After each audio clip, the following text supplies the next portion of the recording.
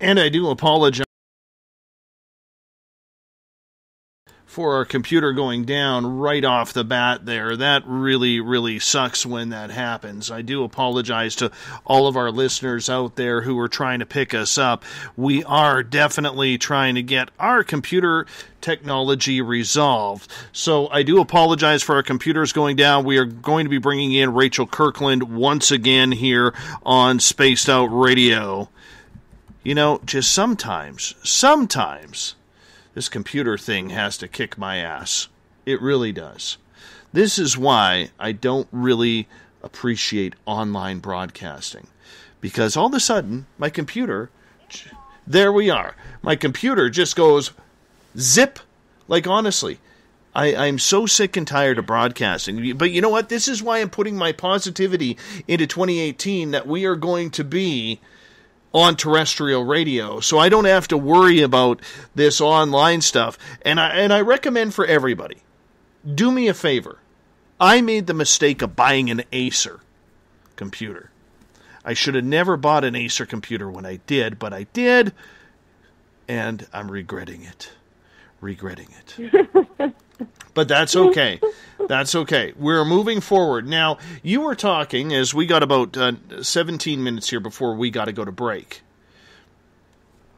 Uh, you were talking. Yeah. I have no idea where it cut off because I realized it's like one of those I realized like I'm just talking and talking and talking, and finally I'm like, is anyone here? no, no, you can blame old Davy for that. Let's just hope that uh, 2018 isn't the, you know, this isn't the sign of things to come. You know. No. No. So how far? Where was I? We were well, talking about kind of getting like the physical I don't know where it cut off. Well, we were we were kind of going along the lines, if I can remember correctly, in regards to you know standing up to what had had happened in 2018 and really convincing yourself and changing the mindset that it's not going to be the same in a brand new year. That you could refocus and right. reset reset everything. Right. And my point was, it's not just mental or physical. It's a little, it's a, it's a both kind of thing. And um, sometimes it's easier if it's been a particularly traumatic year. Sometimes it's easier to start with the physical and let the mental kind of catch up with it. You know, when we start doing things differently, like in a very physical, literal sense, like say you join a gym or you start doing yoga or you start meditating or you start doing habits, you know, starting a thankfulness journal or habits that are physical changes, like you're taking the time to do something different. It literally starts to break up those patterns that we formed because we haven't it's it's new. We haven't done it before. And so it it requires new neurology to be kind of put in place in your in your brain. Like it connects different synapses and you know what I mean? Your brain is starting to connect in different ways. So you're rewiring and repatterning for yourself from the beginning when you start with something new like that. So if it's hard for you to change your mental mindset first, then I would start with something physical. Start with a new physical practice for yourself that's going to require that it basically your you know your brain is like what the heck is this? This is new. And just like when you start driving a new way to work or something, it, there's a sense of like taking a new pathway and your brain starts to rewire and re kind of uh, pattern itself in a new way. So it opens up something that before was kind of, you know, whether it, it, it had just never done it before. So there's a sense of starting things new and it opening up within the mind a sense of uh, newness or a sense of like giving yourself room to change does one have to make physical changes to that though? This is kind of where we were going at the end you know like you had mentioned right. about you know jumping into yoga and this is where we see a lot of people you know maybe ruin their year because they start off with all of these resolutions and by the time you know 2 3 weeks even a month goes by the revel- resolutions are all gone. You know we failed and we're starting the year off on a failure rather than a positive. Do you see what i'm saying well, I wouldn't necessarily consider that was three weeks of positive. if you started with that, but no, I get you. I totally get you. Um, that's why they need to be integrated, mind and body. I mean, it can't be one or the other. That's why it's essentially both. It's got to be something that feels um, that feels i guess also though you know when you're talking and i'm thinking about it now there's a sense of fluidity with that that that's that that i feel like people need to with resolutions need to stay open though to the fact that like okay say you have some resolution and you spend two weeks working on it going to the gym or something like that um, and changing up that aspect of your life there is a sense of like if if it finishes or there's a sense of it being done or you move on or you change just staying open to like okay i've done that like what's next? You know what i mean? Because sometimes i feel like we give ourselves these expectations with timelines when the timelines are not necessarily what's needed. It's more so the energy behind the change that I feel like is important. Um, and I realize, you know, that's I'm talking broad, and like if you're trying to lose weight or you're doing something on a very physical level, it may not apply. But I mean more so just like staying open to this sense of like, okay, I'm making change for myself. I'm I'm changing these patterns that I no longer want to be in. And no matter what it is that you're physically doing to change them, the bottom line is there is an energy of change that you're affecting and doing and doing well. You know what I'm saying? There is change happening. But whether or not that change is for the good or for the bad, that all depends on the individual person, on whether they mm-hmm. want to change. Mm-hmm. Yes. Yes.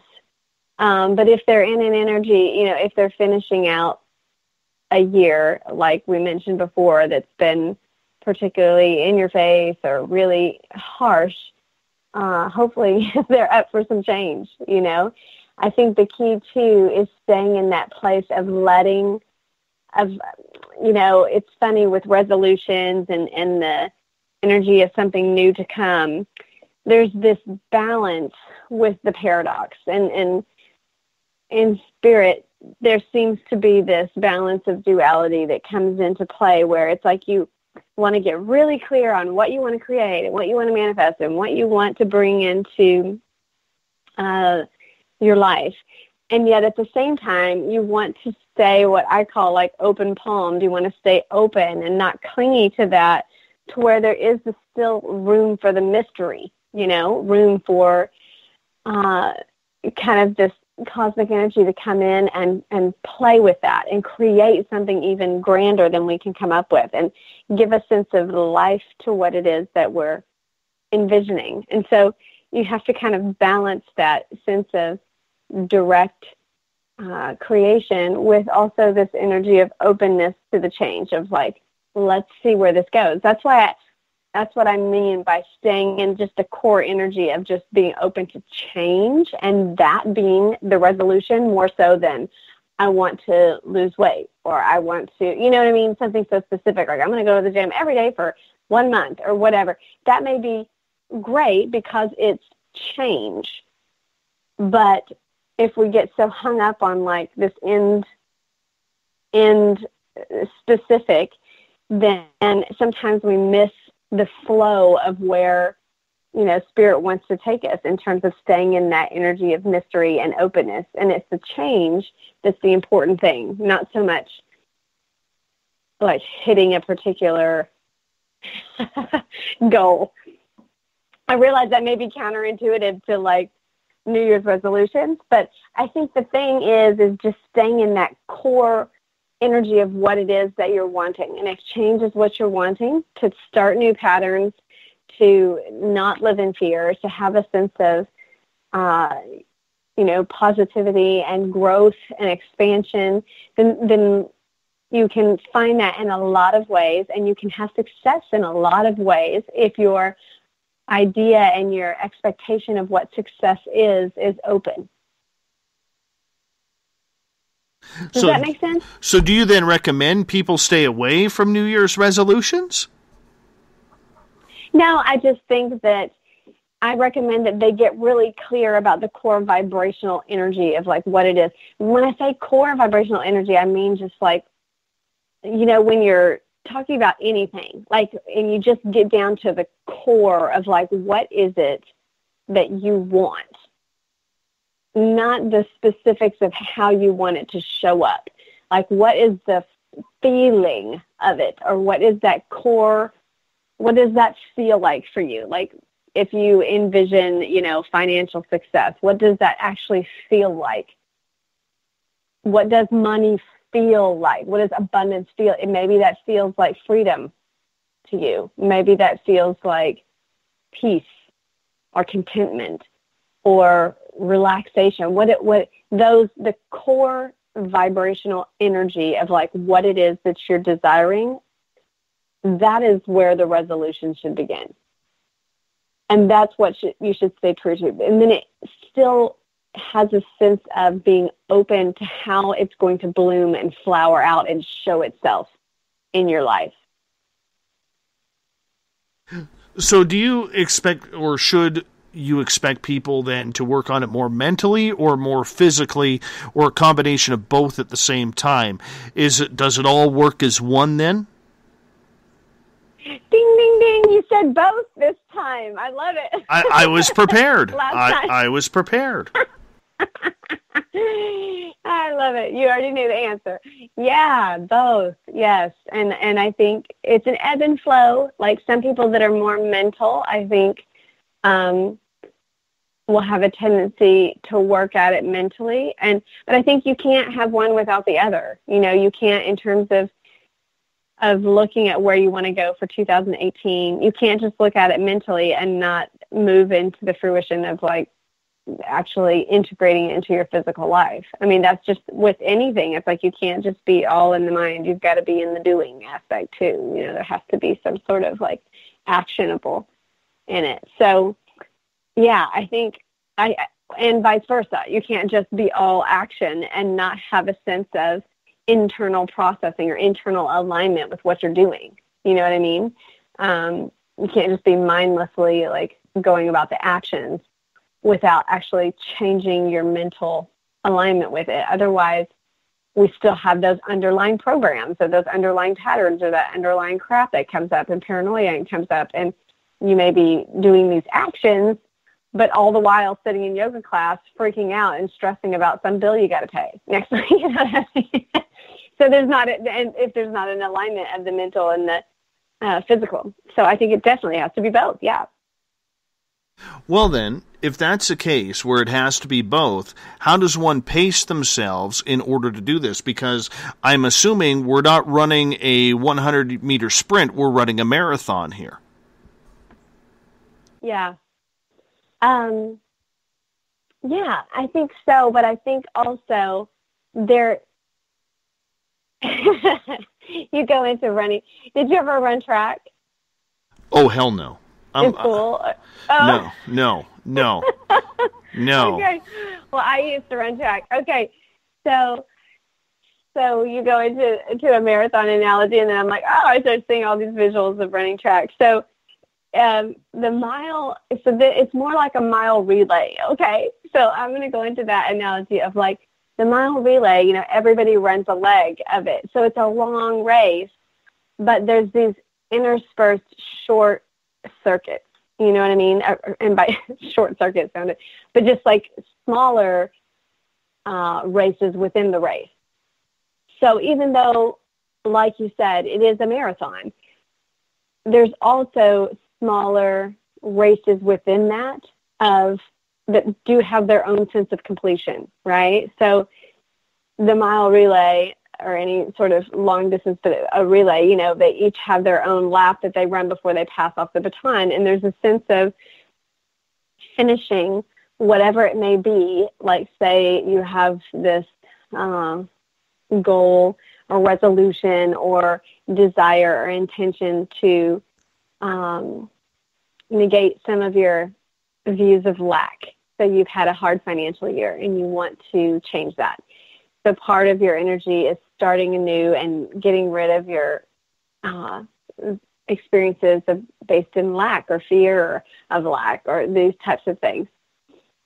Then you may have these shorter resolutions or shorter, like, you know, having a month where there's a sense of peace in all of your financial interactions or where you've gotten your bills on sort of an automatic bill pay, something as simple as that, to where it's a shorter, achievable energy. But right. after that, it's like it passes the baton to the next type of thing, and then the marathon continues. So it just has a sense of like you're you're evolving. Rachel, I'm going to get you to hold on right there. We're going to step out for our first break of the night. Rachel Kirkland, The Spiritual You happens the first Tuesday of every month. The modern Shaw woman comes in, gives her advice on everything spiritual and Zen. We'll be back with more of Rachel for hour number two right after this. Hey, space travelers, it's Joe Roop, your host of Spaced right. Out Saturdays. Come join me as we explore the realms of the paranormal, the esoteric, and everything in between every Saturday night at 9 p.m. Pacific, midnight Eastern. You know the truth is out there. Don't get caught sleepwalking. Come join Spaced Out Saturdays. That's every Saturday night, 9 p.m. Pacific, midnight Eastern, right here on spacedoutradio.com. Psychic Sundays, spiritual communication, ET contact, Sasquatch in your backyard. We will have it all on Cosmic Passport with me, Elizabeth Anglin. Each Sunday, starting at 9 p.m. Pacific, midnight Eastern, at spacedoutradio.com, I will take you on a journey of enlightenment. The goal is learning from the soul on out. We'd love it if you joined our experience, Cosmic Passport, heard Sundays at spacedoutradio.com. 365 days a year, we're in the field, investigating UFO sightings, talking to alien abductees, and visiting secret military locations like Area 51. We're UFO Seekers, official partner of Spaced Out Radio. Follow our daily search for the truth at UFOseekers.com or like us on social media. Catch us on Spaced Out Radio every third Monday of the month as we discuss Area 51, UFOs, and more. And also, don't forget to subscribe to us on YouTube.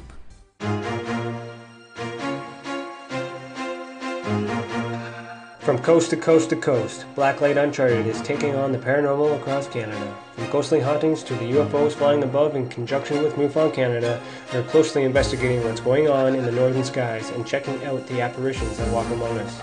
Check out our videos right here at spacedoutradio.com. We want to know your thoughts, we want to hear your experiences, and we want you to share your stories. The answers are out there, and we intend to find them. Would you like to become one of our space travelers? All you have to do is click on the Space Travelers icon at spacedoutradio.com. For only $5 a month, you can get access to some great prizes, as well as private monthly shows, newsletters, and a members only section on our website. Become a space traveler today. It's paranormal news at its finest. Welcome to The Encounter. At spaceoutradio.com, The Encounter online is SOR's trusted news source for everything weird and strange going on around the world. This is news editor Eric Markham. Our team of journalists are scouring the planet for those strange stories that rarely make the mainstream. No fear mongering or fake news here. Head over to spaceoutradio.com and encounter The Encounter. Want to learn more about aliens, cover ups, conspiracies, cryptids, and the paranormal? All you have to do is tune in S4 as we take over the Spaced Out Radio Night, starting at midnight Pacific, 3 a.m. Eastern, each and every Saturday night, right after Spaced Out Saturdays. Hi there, this is Eric Cooper from Forest Moon Paranormal. Join me, Corey Ruiz, and friends as we discuss the hot topics of the night. It's fun, entertaining, and as dark as the night. Find us at spacedoutradio.com.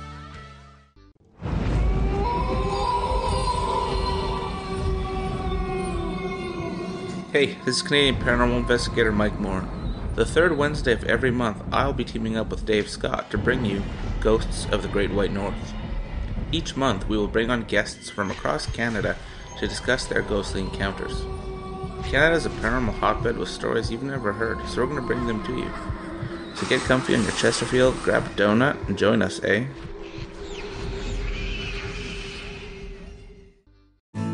Are you an experiencer? Have you had run ins with strange creatures you can't explain? ETs, Dogman, Bigfoot, werewolves?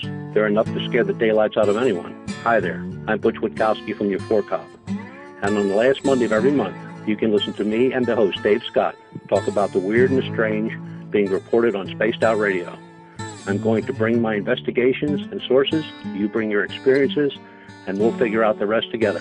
Strange Days on Spaced Out Radio. Come tune us in at spacedoutradio.com. There's a lot of strange going on in this world, and we can help you find out what's going on with you. Paranormal, cryptids, UFOs in the sky, aliens in your bedroom tickling your toes. We have the investigators you need to find out the answers you deserve. All you have to do is head to spacedoutradio.com. Your information is 100% confidential. The SOR Sightlines Report. It's free, and we're here to help. Are you interested in advertising on Spaced Out Radio? Head to our website at spacedoutradio.com and click on our advertising tab. There, you will find an assortment of ways you can get your product out there with us, from radio commercials to banners and social media. Have a product you like our hosts to endorse? We can do that too. Visit spacedoutradio.com for more details. Don't have time to listen to Spaced Out Radio Live? Wherever you are, the car, the office, the shower, or even if you're traveling, we're right here for you. Each Spaced Out Radio show can be found on iTunes, TuneIn, and on our YouTube channel, Spaced Out Radio Show. It's the perfect way for you to catch up on our shows. For more information, just head over to our website, spacedoutradio.com, and tune in to us today. Do you want to know what's really going on in your world? Do you have questions about who you can trust in the mainstream media? Then look no further than the Rebel Planet. Come get the straight answers right here at spacedoutradio.com. Join me, Jamie Sexton, creator of Rebel Planet News, as I fill you in on the stories behind the stories. All you truth seekers, be sure to tune in to Rebel Planet on spacedoutradio.com the third Thursday of every month.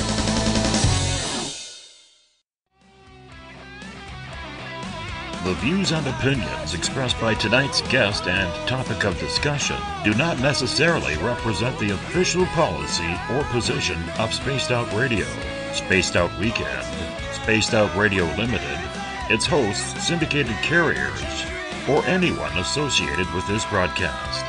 Would you like to connect with us? Head to spacedoutradio.com for all your latest show info. And hit us up on Twitter using the hashtag SpacedOutRadio. Now, back to Dave Scott and SOR. Welcome back to hour number two of Spaced Out Radio. Tonight, I am your host, Dave Scott. Great to have you with us. Tomorrow night on the program, Dr. Scott Kalaba will join us. We're going to talk about doctors who he has talked to who have untold paranormal stories. So these are from real professionals who can't explain what's happened in their operating rooms with their patients and around situations that doctors are, and so much more. We get going at 9 p.m. Pacific, midnight Eastern Time at spacedoutradio.com. We want to welcome in everyone listening in on WQEE 99 Rock the Key down in Newnan, Georgia, home of the Walking Dead.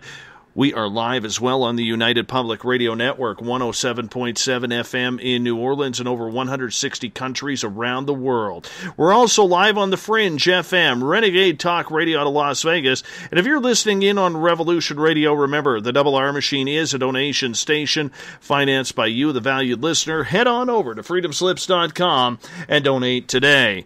Bill Cardwell has set the first password of 2018 for the SOR Space Travelers Club. Illywacker.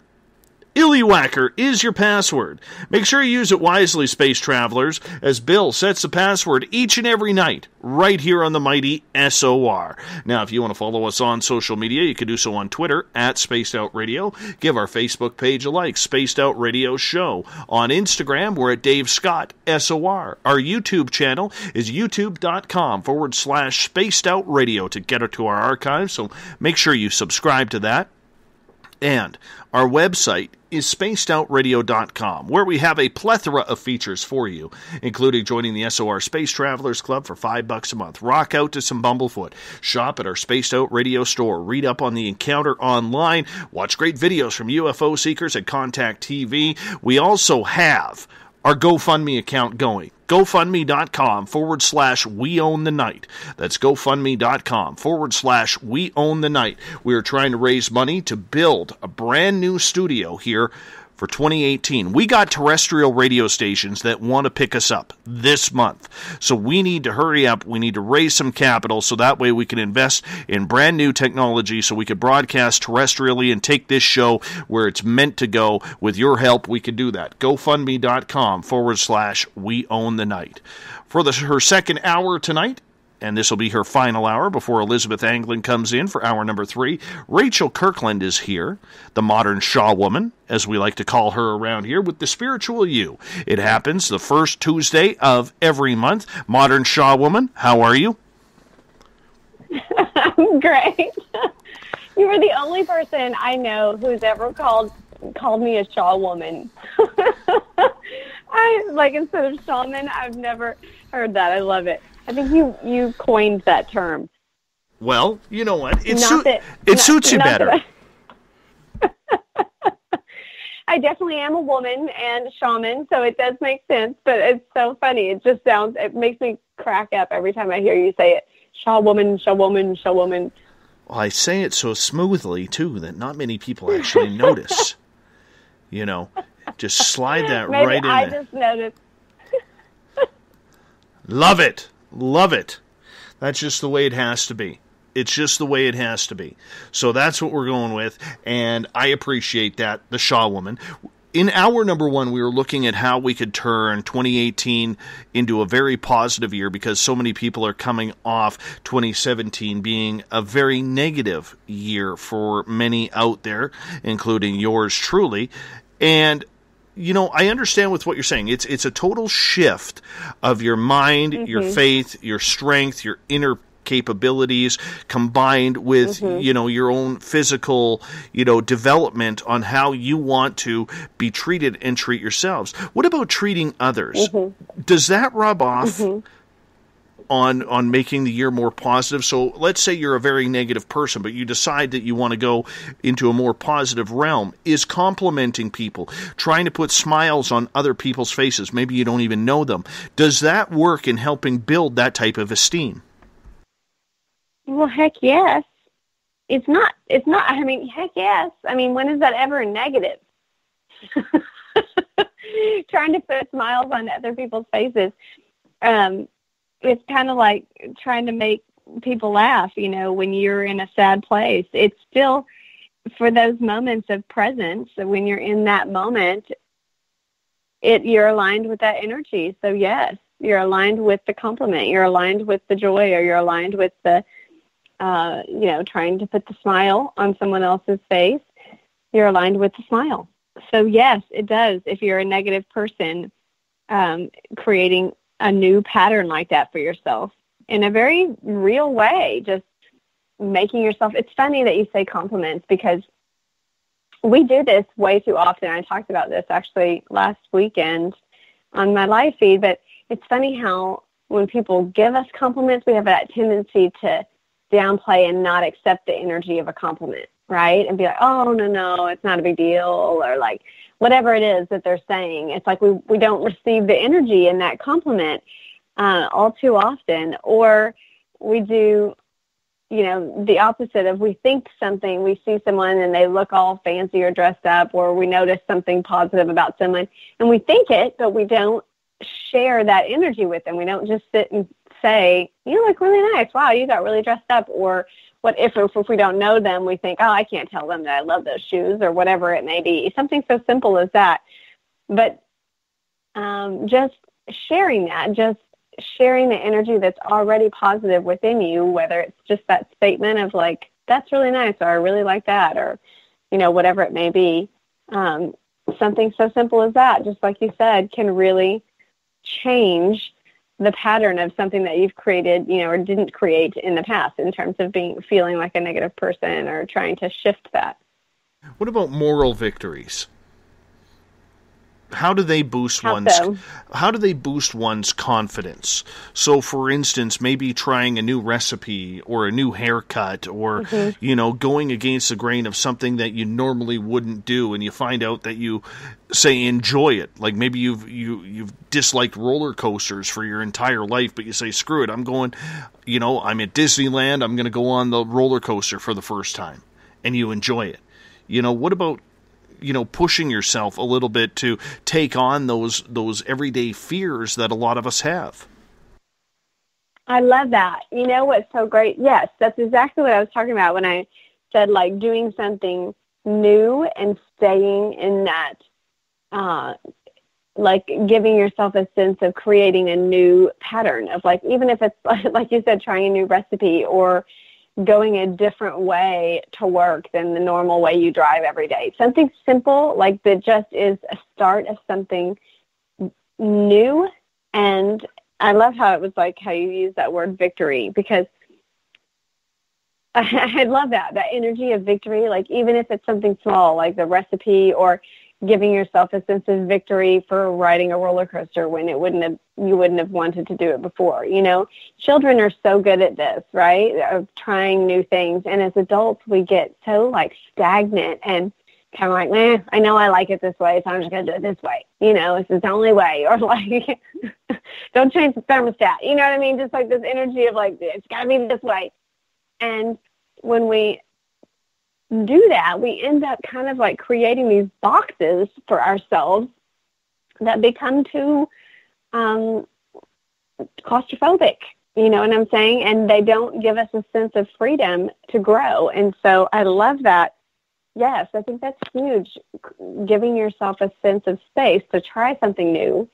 And then that second part, which is so paramount, is that victory or that energy of celebration of having done it, of having done something else, something new, or just even the energy of like celebrating the fact that you just did it. That, that's it. You know what I mean? There was nothing that to be achieved other than having done something new of having rode the roller coaster and gotten over that fear or having like said yes to something that you would normally say no to uh, and being open to that that literally uh, again as simple as these things the, these things seem they are creating new like pathways new patterns in your actual neurology like they create a sense of youth and newness and um, growth where there wasn't any before. So it's not something small that they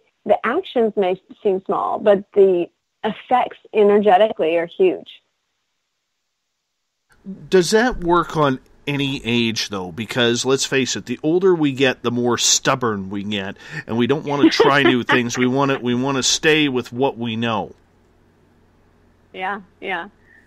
Well, I've been stubborn since I was a child. According to my family, I was I've got that I'm a Taurus. I've got that stubborn bull-headed nature. So, I don't know that that comes with age, but probably even more so, I guess, like you said, once I find that as adults we we get in that pattern of like, well, I've tried it before and it didn't work or you know, I know it works for me, so this is just what I do.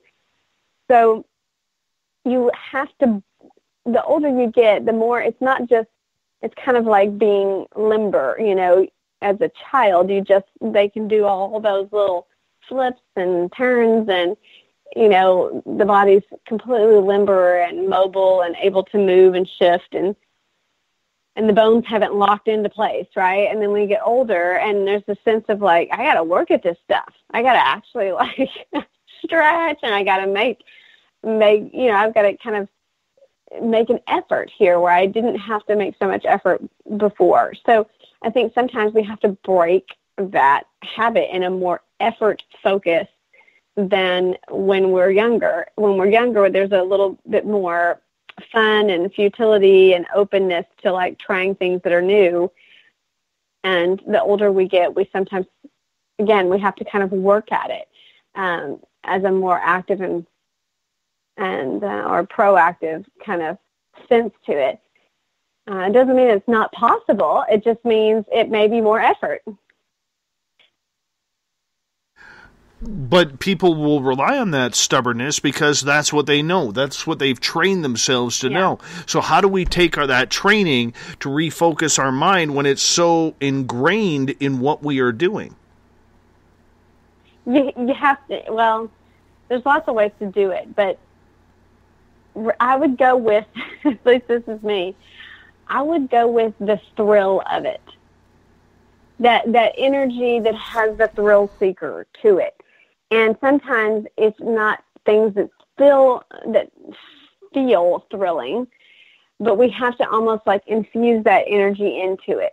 You know, um, like kind of the roller coaster analogy. It's like you can roller coaster and you're on the roller coaster. You're already on the freaking roller coaster, and you can have you can be clinging to the little pole in front of you or your little safety harness or whatever and be just like you know gnawing your teeth the whole time or you can just put your hands up and be like i'm just going to ride this roller coaster man and i'm just going to like woo i'm just going to really amp up the energy of the thrill of it you know?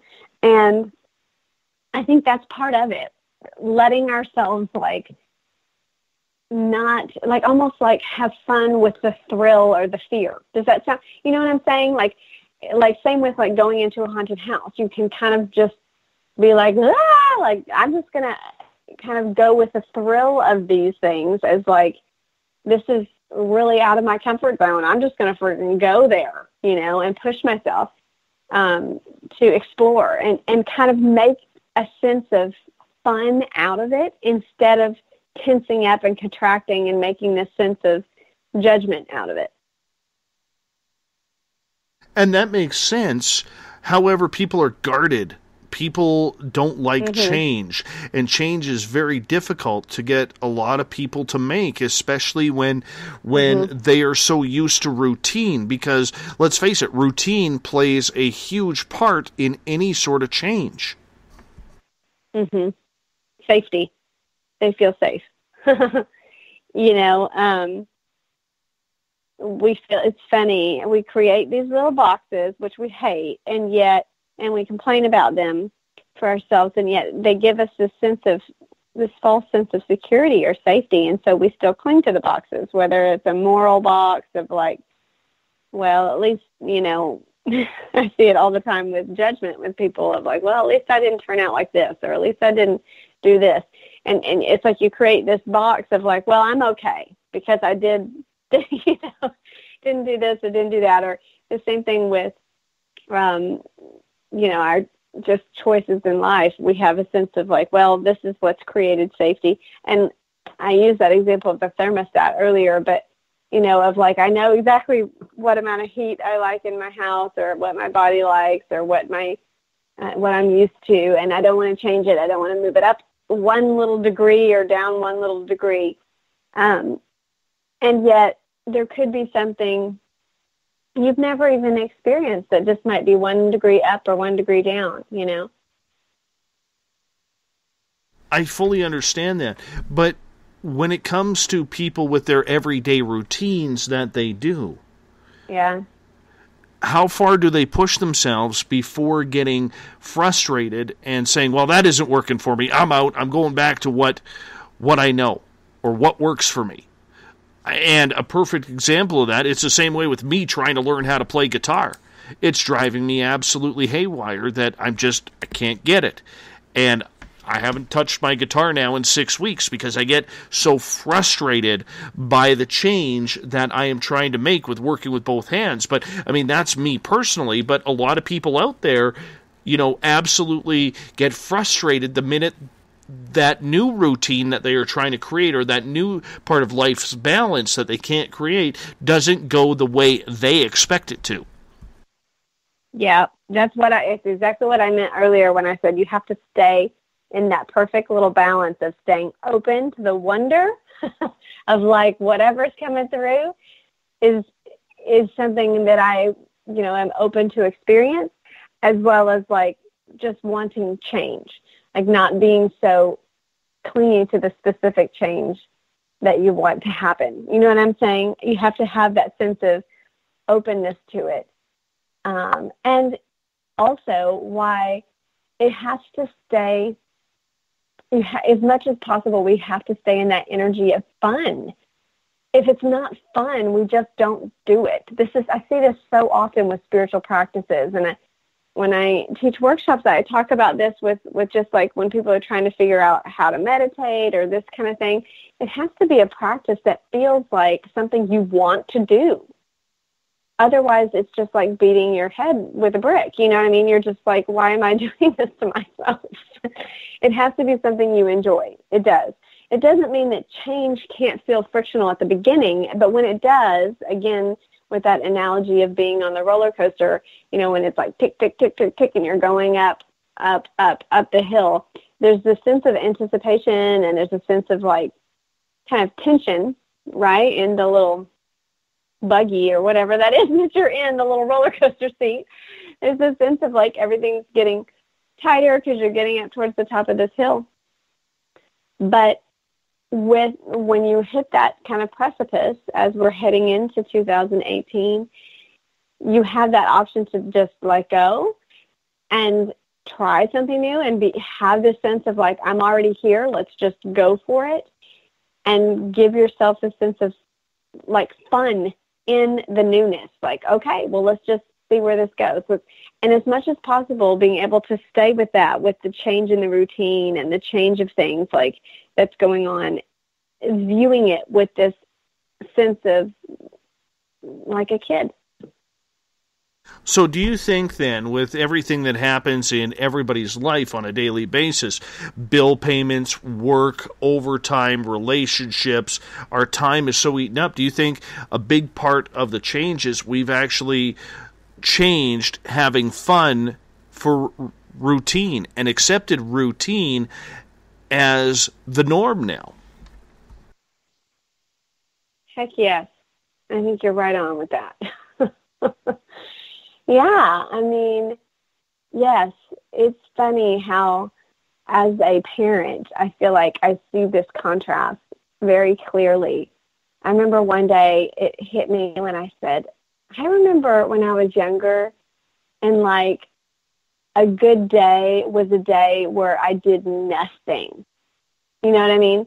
and somewhere along the line of growing up i i changed this idea of like a good day means i get a lot of things done and i'm like what happened to that view when i was younger where like a good day was like was just absolutely doing nothing like i considered that a successful day i was like man this is an awesome day because i did absolutely nothing you know i just and that's kind of where kids are you know like my kids at least on vacation, they want to just veg. They want to, they don't have a desire to go to all these little camps and do all this activity. It's like they just want to be unrestricted. You know, they just want to have nothing, have nothing to do, have no sense of like, of, of requirement.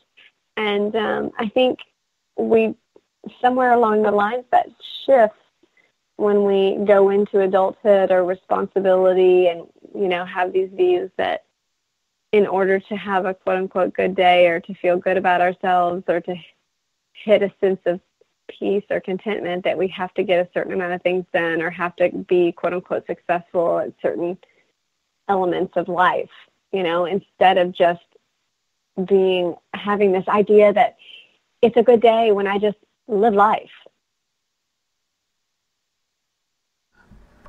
When you have people who come in to either get a reading or a healing from you in regards to that, how do you go about, you know, changing their mindset?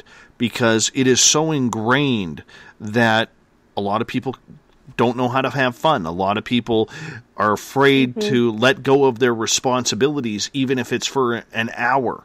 You know, how do you try and break people down and get to their emotional side to say, look, this is good for you. This is healing. Mhm. Mhm. Well, it's different with every person because everyone what's fun to someone may not be fun to someone else, you know? And so we start there of just like looking at with that individual what is it that lights them up that makes them feel inspired? That energy of inspiration and wonder and uh, it's a very youthful kind of like the fountain of youth type of energy you know? Um, all of those things they're very individualized and sometimes they're super simple you know like somebody's sitting with a piece of paper and just giving themselves time to doodle something like that. Like as a kid you know you just you do those kind of things. And then as an adult you think who has time to do that? Or that's that's not a good use of my time you know or that's not productive or what is that? Yeah. But the energy of that of the release of the mind of something something so simple as that like releasing the mind and just letting the hand almost like channel just movement um, is so freeing. And so if that's you or if that's my client and they're sitting there um, a lot of it is kind of like deductive at the beginning, like trying to get kind of deductive reasoning of going back to like what is it that gives you a sense of freedom or joy or or inspiration or you know what what does give you that sense of fun and happiness and not in a um not in a cheap thrill not like oh, I just something really quick and thrilling, but more like in depth. Like, what is it inside of you that feels good when you do something? You know, so we have to kind of search for it sometimes because as adults, we we lose it a lot. We we put everything else on top and we forget a lot of times like what is it that I actually enjoy? Like what what does bring me joy? Because we're just not practicing or doing those things and just out of habit we start to lose track of like what is it you know and of course we change and grow too and our interests change and grow and so unless we're actually seeking out things that we're into and validating that and by validating i mean giving actual time and um, value to it for ourselves um, then sometimes it's a search we start with that we have to find it you bring up a very good word value and mm-hmm. I, I know with the stress that I've been going through over the last number of months, I've used that word more times than I have mm. probably in my lifetime is trying to figure out what my value is. And I know there are a lot mm. of people out there trying to figure out, you know, what their value is. What's what what gives them validation as a human being. And it's difficult for a lot of people because we're so beat down on a daily basis. And I'm not saying that to be depressing. This is just the truth of it. Why cover up the matter when it is happening out there? And I'm a firm believer that the only way you can fix something is if you can talk about it. So let's talk about it. You know, a mm-hmm. lot of people don't feel that they have value. And I don't mind with my mm-hmm. depression and anxiety coming out and saying that I question mine. Everybody thinks, you know, that I'm a very happy go lucky guy because I got this successful show going on, but I battle. I battle really, really hard. And there's a lot of people out there, Rachel, who are in the same boat, just not as public about it. So, how do you train someone to remember that whether they feel their life is falling apart or whether they're on top of the world, that they still have the same amount of value? Yeah, I think I love that that you shared that because I think first of all that in itself is good to remember that everybody that that is part of the human experience. Okay, it's the spectrum of emotions and everybody i don't care if you're the president of the united states there are days when you go what the heck am i doing with my life what in the heck do i have to offer why am i on this freaking planet like everybody I don't I don't care who you are. Everybody goes through that. No matter how successful you are in the view of others, it, when you are viewing yourself just in your own internal heart, there are always you you cannot have expansion and growth without first starting from that place of like where what the heck am I doing? So so everybody's been there especially those that are trying to grow and change and make effect and positive movement and, and things like this in their life. So I want that first. I, I just feel like that is important that you shared that. Like, I don't feel like that is a sign of failure or depression. I think that is a sign of very uh, of being awake to the fact that you know things are not the way I want them to be. That's the precipice for change, right? For making something um, bigger than what was, or having a sense of um, effect on your life, and not just living mechanically and without you know a mind to change things or you know so i don't feel i just want to put that positive spin so to speak on that aspect that it's it's okay it's normal it's actually the beginning or the, the cosmic womb of creating something new. We all start in that muddy place of creation right where it's all bubbly and this soup crappy soup and we go through those cycles constantly. So it's not like you get over it and then you're over it for life and you're you never go back to that, you know, depressive energy. It's cyclical at times because you grow, you change, and then you grow again and you change and you go. So there's always this sense of like death and birth, death and birth. And first of all, for everyone, I would just I just wanted to highlight that point that that, that is a, I don't feel negative about that. That's a very positive creation space. And when you're in it, it sucks because you're in it. You're just in it. You know what I mean? But that is a creation space. That is a space where we go like, what the heck am I doing with my life? What do I want to, what do I want to experience? This is my life. I'm living it. Like, do I want this? You know what I mean? And then it moves into a sense of change or a sense of desire for something that contrasts where you are. So, all that being said, I feel like that's a good place to start. Um, and then from there, like where you want to go, and just having a sense of openness with that um, and and kind of being okay with where where you've been and then also being i guess motivated to make something new is the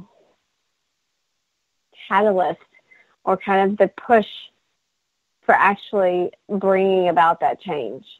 Almost like the deeper you go in the depression, the more motivation and trampoline that you have to move forward and to make something massively different.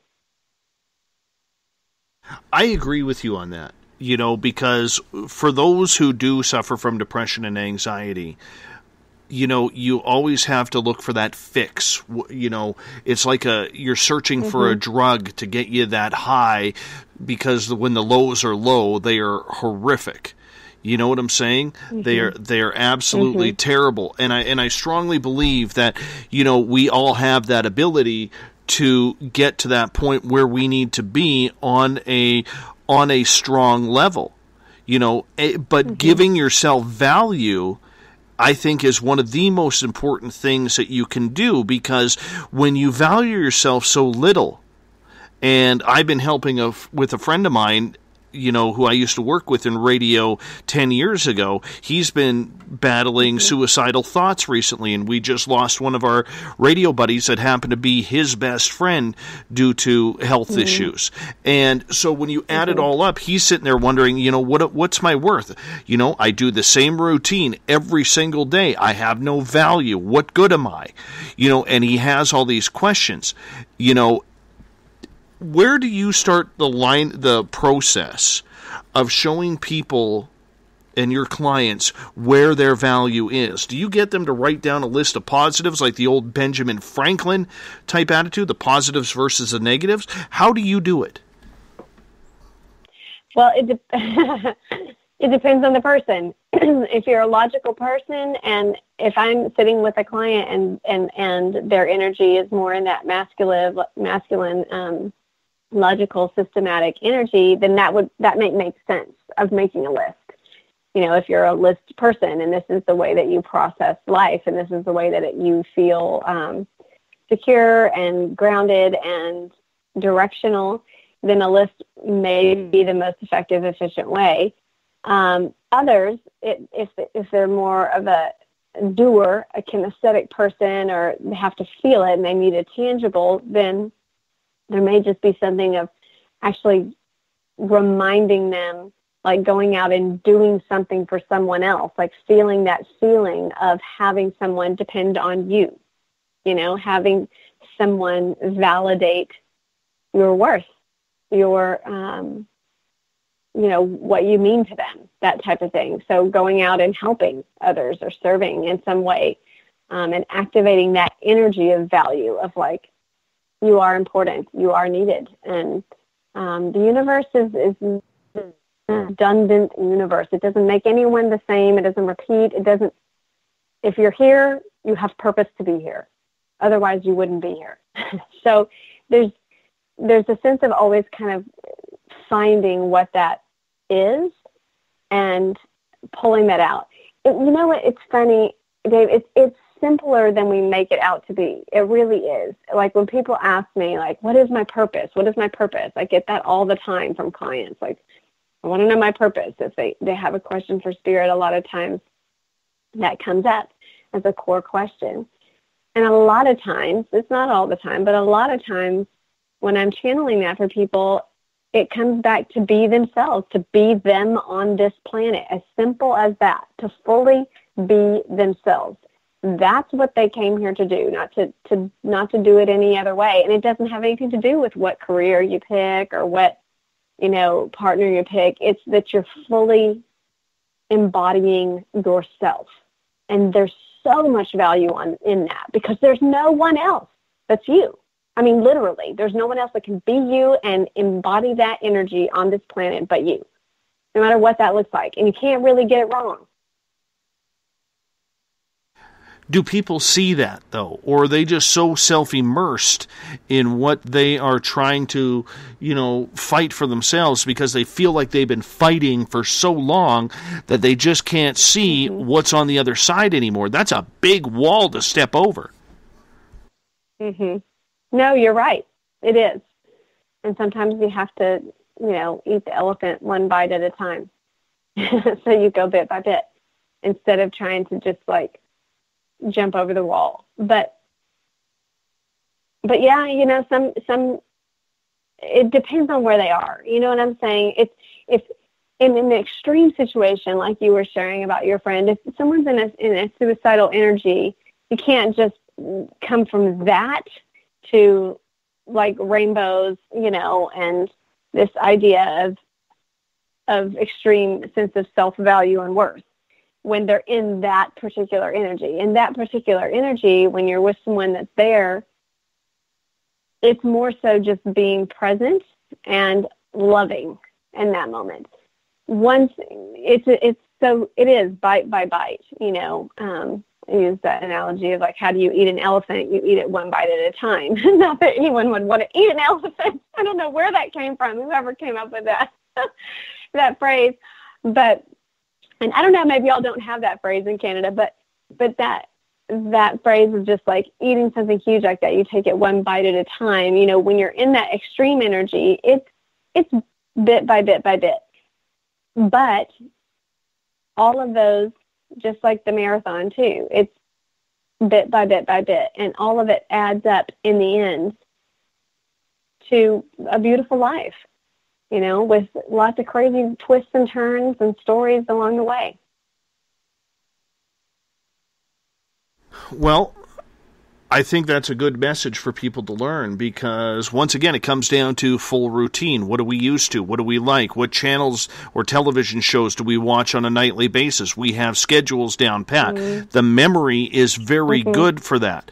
You know, for instance, mm-hmm. I drink a lot of Pepsi. I don't drink coffee. I don't drink beer or much alcohol, my addiction is Pepsi. I know that I need to go upstairs and drink water instead, and probably within a week, I will shed like nine pounds. That's just the effect water mm-hmm. has on me. But Pepsi is just so damn good. you know, like it is, it is a major shift for a lot of people. It's a major mental mm-hmm. shift. Mm-hmm. Diet is in general. It's so funny how sometimes when people are come to me for health stuff and we're doing healing and spirit may just say like, "Oh, you just need to cut out dairy or something," and they'll just be so angry. They'll be like, "What? I came to you." I don't want to hear that. You know, it's like I'm like, oh, I'm just gonna tell you what I got, and that's what I got. You know, whatever it may be. But it's so funny how dietary changes. I mean, I'm I'm right with you.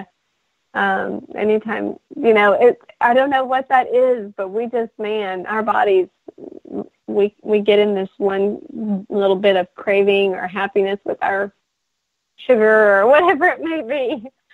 Um, sometimes that seems so abrasive to be like, no, I can't have that.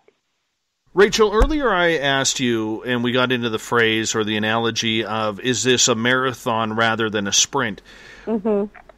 Mm-hmm. And we both agreed it, it's pretty much a marathon. Do you suggest Mm-hmm. breaking up a new year to set little goals for yourself? Like, what do I want to accomplish in the first quarter? Almost like what businesses do with profit. You know, they have to release their financial statements every quarter. Do you need to, or should people be making some sort of statement every quarter to themselves that this is where I want to be by the end of March and this is where I want to be by the end of June? You know, is that the way we should be doing things? I love that. Um, I don't think there's a. Um, I love that idea. I don't think everyone has to do it that way. Like this is the way you should be doing it, and you're screwed if you don't. But there's a sense that um, you just that small victory energy that we brought up earlier, and you talked about like you know the having the sense of moral victories of doing things differently. That is very very um, momentum building. So it brings about the change even faster and helps us bring about and be okay with the change even more so. So it, it's like, you know, just a ball of snow rolling down a hill. If you give yourself a sense of like smaller goals, say each quarter or whatever, even even shorter than that, even like you know, this month I'm going to do these things, or this by this weekend I would like to have done one thing for myself. It, you know, whatever it may be, these small victories. There's a sense of momentum that you get going energetically, and you're like, I did it. I did this. This is awesome. There is. I am affecting change. I am. My my year is different already, and so you have a sense of of building and and seeing your progress and then seeing it rewires that sense of belief and validation that this is happening, this is real, this is true, this is something you can hold on to. So uh, it secures it even more so into a foundational energy of like um, making it real for you. So yeah, instead of this one big year-long goal, I would say the shorter, you know, smaller victories you give yourself, the better. And then realizing when it's done too. Remember, you have to have that sense of closure energy or, or resolution each time you have achieved something. You have to have the celebration, right? Otherwise, there is, it just, it leaves it open ended and there's no sense of um, moving it into a foundation. It stays up in this etheric energy. And but once we celebrate it as being done or like i did that. That's awesome. I did achieve that um, it's it builds that snowball even more so and it really grounds the change. So it makes those new patterns for ourselves move into more of an effective like foundational aspect So, in the first third of the year or first quarter of the year, what should be Mhm. the goal that people focus on? I realize everyone's different. I'm trying to get you to generalize right now, but let's break this Mhm, down quarter by mhm. quarter. What do you do in the first quarter?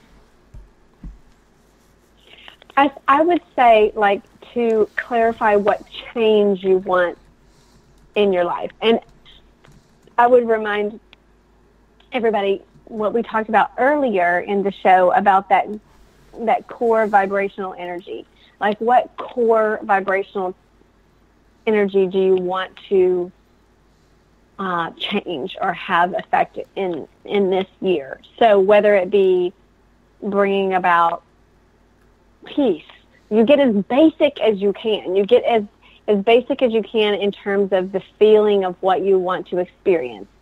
Um, and so for that first quarter, I would just get clear about like what, um, I guess, feelings. feelings is kind of a, I, I use that in terms of, vib, of a, a vibration, what you want to be emitting from you, like as if you've got this you know, frequency that's just like emanating out of you. What are those core ones that you want to be experiencing in your life? Get clear on those. And then within the goal of that first quarter, have some things that bring about those energies, whether it's love, if you want to experience love, and things that, that, you know, kind of amplify that energy of love, of self-love, of having a sense of um, making you feel special or making whatever it is that activates that energy within you. So give yourself little goals that activate those core vibrational energy for you. Uh huh. And uh-huh. it may be something new. Uh huh. Now, what about the second quarter of the year? What would you say the plan is so, for that? I, then I would say you would assess the first. Okay, so then after you would assess and celebrate whatever was done that first quarter. Um, and from that assessment, if there were things that you wanted to work more on, or, you know, ideally, if the snowball should be rolling. And so energetically, that should have created more experiences or new desires or new avenues for experience or opportunities. And so from there, the resolutions or the goals or the next quarter focus would almost be pinpointing a little bit more specific from those opportunities and changes that occurred from the first. So it's just a little bit more like refining the subtle energy that you already had changed from the first. So it's getting a little bit more and more and more specific. And then towards the end of the year, it would be the same thing. It would be refining. Uh, once you celebrate all the change, uh, that those previous snowballs and momentum brought into effect, then it would be getting clearer and clearer and more defined towards the end of the year of exactly what you want, quote unquote, accomplished or experienced or played with or dabbled in, you know. Again, still having that energy of openness for what comes through, but almost a sense of clarity of like, um, that this is where I have been and so this is more of what I want, or I've already played out that avenue, and so now I want this. You know, so it's cumulative. I would say it's more like a sense of assessment after each quarter, and then a subtle redefining of that. So we're halfway through the year, and what do we do for the final half? Let's start off with the third quarter.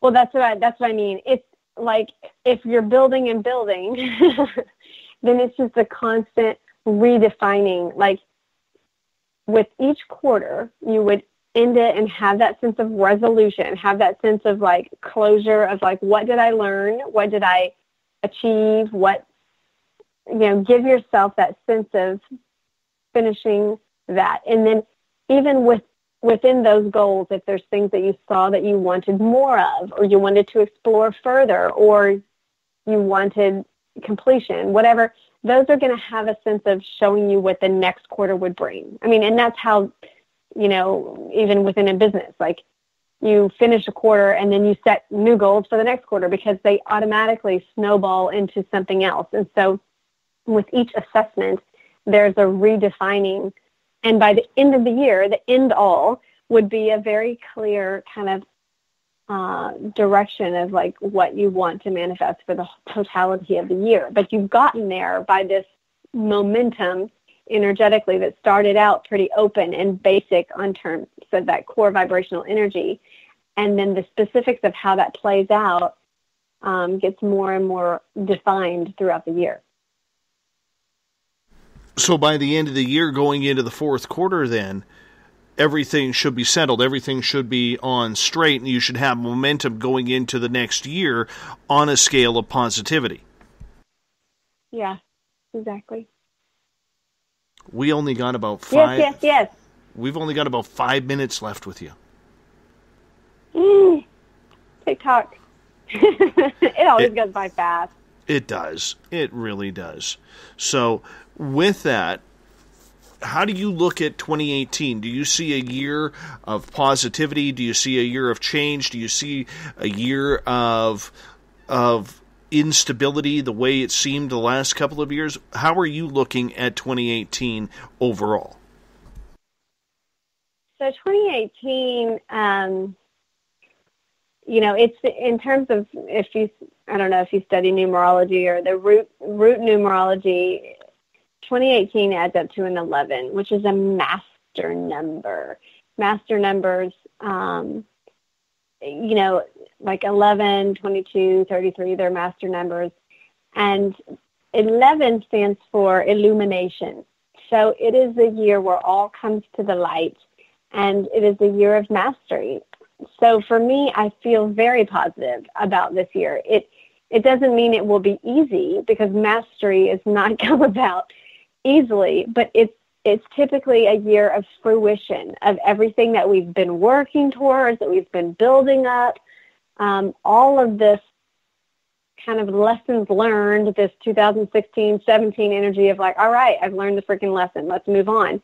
There's this sense of fruition to 2018 that I'm really excited about. I feel like there's a lot of momentum that's been built up and built up from these past years.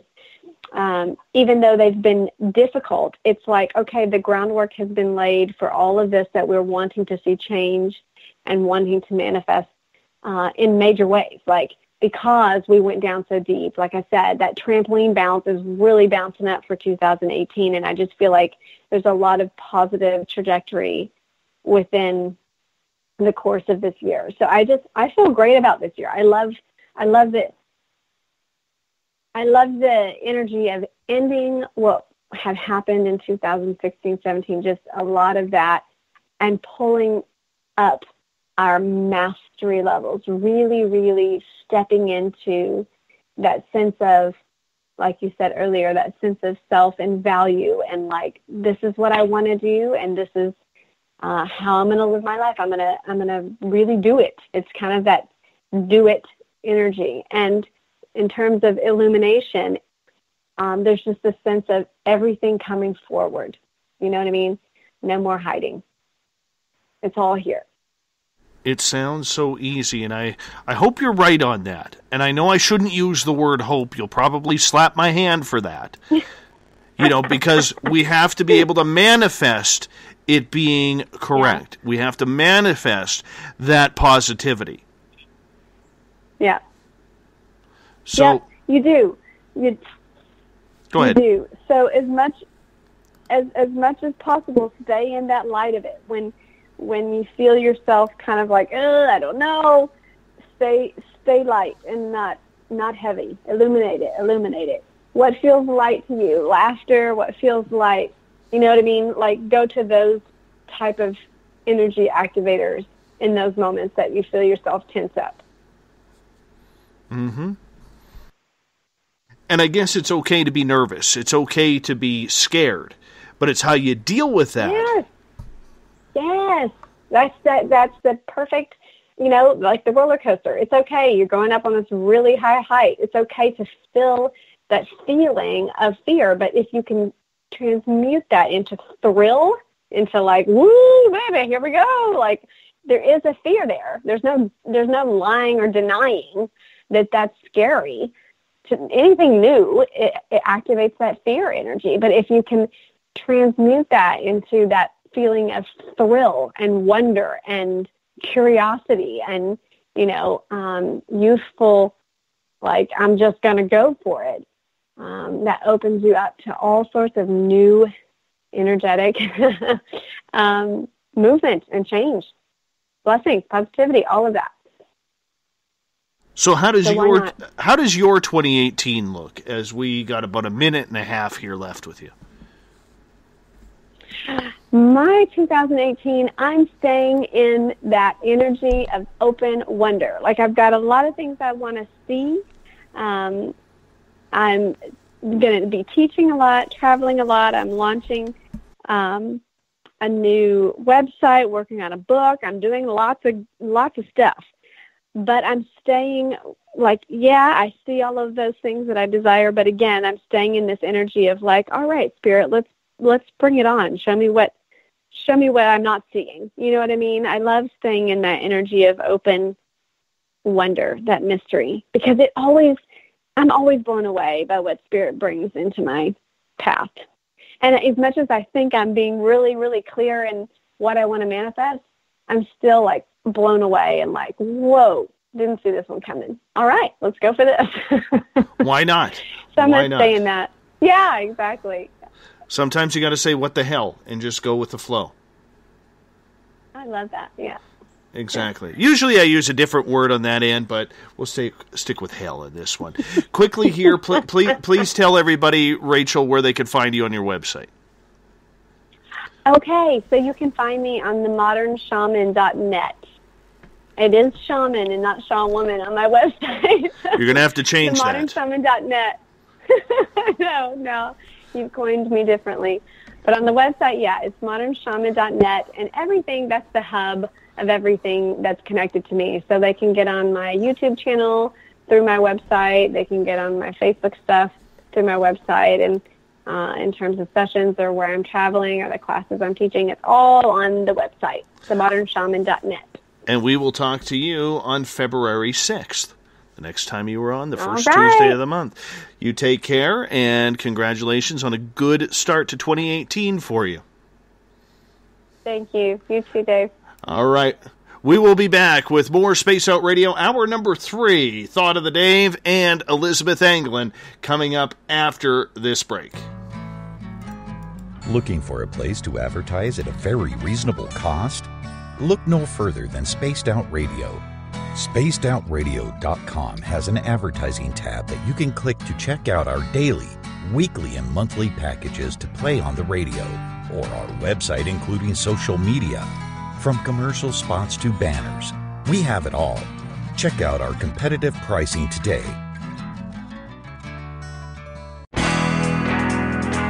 There's stories, then there's the truth. Do any of us really trust the news anymore? This is Jamie Sexton, owner of Rebel Planet News. The third Thursday of every month, I appear on SpacedOutRadio.com to bring you the truth you deserve, without mainstream media lies or alternative media fear-mongering. We'll get to the heart of the story and deliver the truth you're seeking. So come join us here for the Rebel Planet at SpacedOutRadio.com.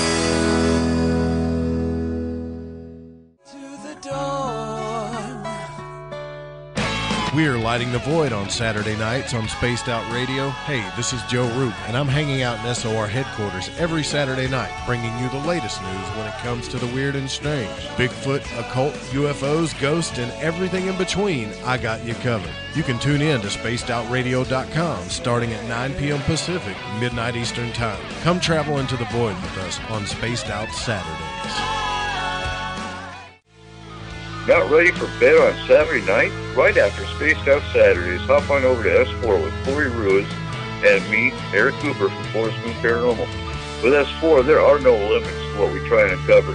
From government conspiracies to helping clean up the paranormal, no topic is safe on S4. We get to the heart of the matter, of the subjects you want to learn more about. So tune in on S4 starting at midnight Pacific, 3 a.m. Eastern, only on SpacedOutRadio.com.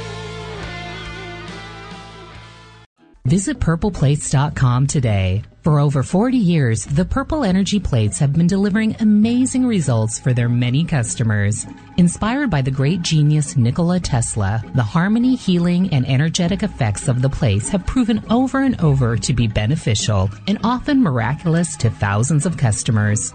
Check their site for daily specials and choose from their many energy products. You won't be sorry. Visit them today at purpleplates.com. Hi there. I'm Butch Witkowski, lead investigator with UFO Cop. On the final Monday of every month, you can listen to me and host Dave Scott on Spaced Out Radio's Strange Days. We're going to get to the heart of the matter when it comes to what's happening out there. People are seeing and experiencing things from ET contact to Bigfoot, and I want to hear about it. Your experiences are what we investigators need to help solve these unknown mysteries. So tune in at spacedoutradio.com to the final Monday of every month from Butch Witkowski's Strange Days. This is Eric Markham, news editor for the Spaced Out Radio's The Encounter Online. We have put together a great team of writers and journalists from all over the world to bring you top quality paranormal stories from alien encounters to the latest conspiracies. You won't find any of that fake news here. True stories and top notch reporting as we look to bring these experiences to the mainstream. The Encounter online only at spacedoutradio.com. Do you want to know the truth? Do UFOs exist? Are aliens real? Are the governments hiding the biggest secret in history? We're UFO seekers, and we're on a hunt for the truth. Subscribe to our YouTube channel and follow along with us as we journey across the United States, visiting UFO hotspots and alien hotspots, trying to document the UFO phenomenon. Catch us on Spaced Out Radio every third Monday of the month as we discuss Area 51, UFOs, and more. And also, don't forget to subscribe to us on YouTube. Become more intimate and interactive with Spaced Out Radio. Join our Space Travelers Club with your new membership. For $5 a month, we'll provide you with special access to the website, monthly prize draws from books to psychic readings, along with monthly newsletter, private interviews, and more. Sign up today to be part of Spaced Out Radio's experience. Don't have time to listen to Spaced Out Radio live? Wherever you are, the car, the office, the shower, or even if you're traveling, we're right here for you. Each Spaced Out Radio show can be found on iTunes, TuneIn, and on our YouTube channel, Spaced Out Radio Show. It's the perfect way for you to catch up on our shows. For more information, just head over to our website, spacedoutradio.com, and tune in to us today. There's a lot of strange going on in this world, and we can help you find out what's going on with you. Paranormal, cryptids, UFOs in the sky, aliens in your bedroom tickling your toes. We have the investigators you need to find out the answers you deserve. All you have to do is head to spacedoutradio.com. Your information is 100% confidential. The SOR Sightlines Report. It's free, and we're here to help. You hear footsteps in the empty room above you. A rocking chair begins rocking by itself. Don't be afraid of the things that go bump in the night. Reach for Spirit Storybox, the iPhone app the Huffington Post UK called the only ghost hunting app you will ever need. Spirit Storybox. The spirits are telling their stories. It's Cosmic Sundays with me, Elizabeth Anglin, in Cosmic Passport. Let me take you down a three hour spiritual journey where we will get into everything from ET contact to Psychic Sundays. It's a journey of listening and learning together with some of the best professionals in their fields. You can tune in to Cosmic Passport at spacedoutradio.com every Sunday starting at 9 p.m. Pacific, midnight Eastern.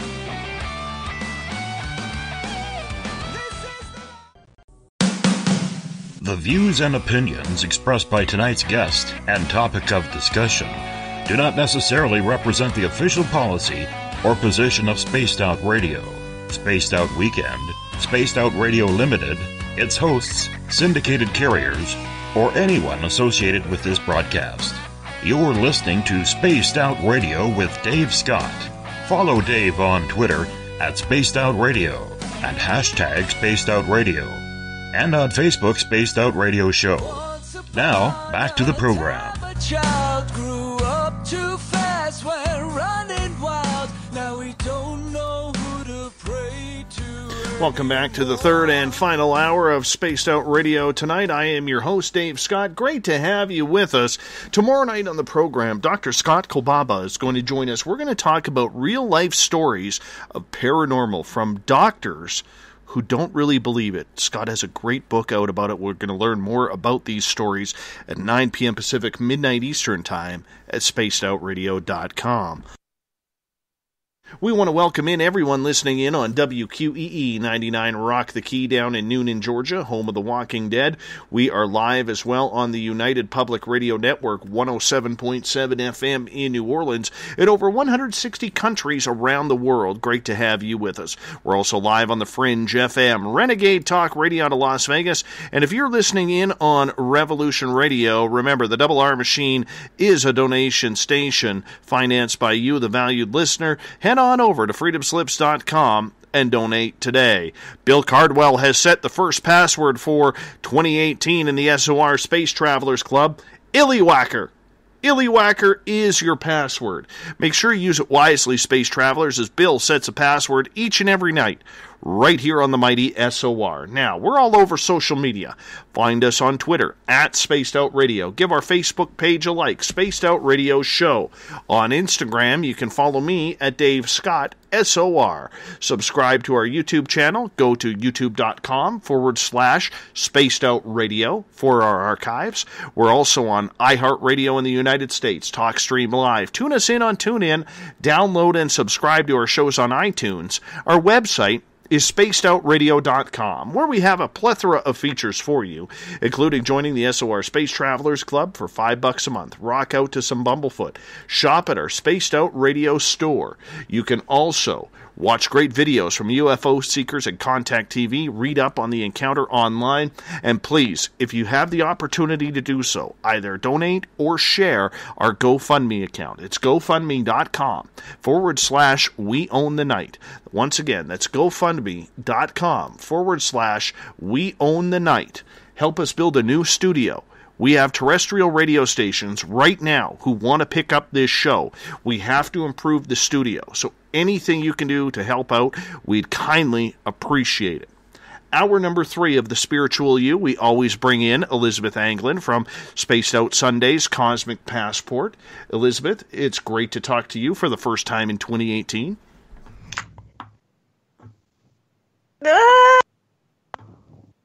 Where are you?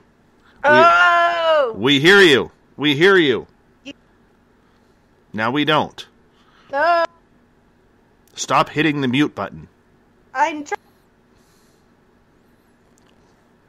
She definitely has gnomes. You guys say I have that no- you you're the one with the gnomes. Your your your voice keeps cutting out here. What's going on? Gnomes.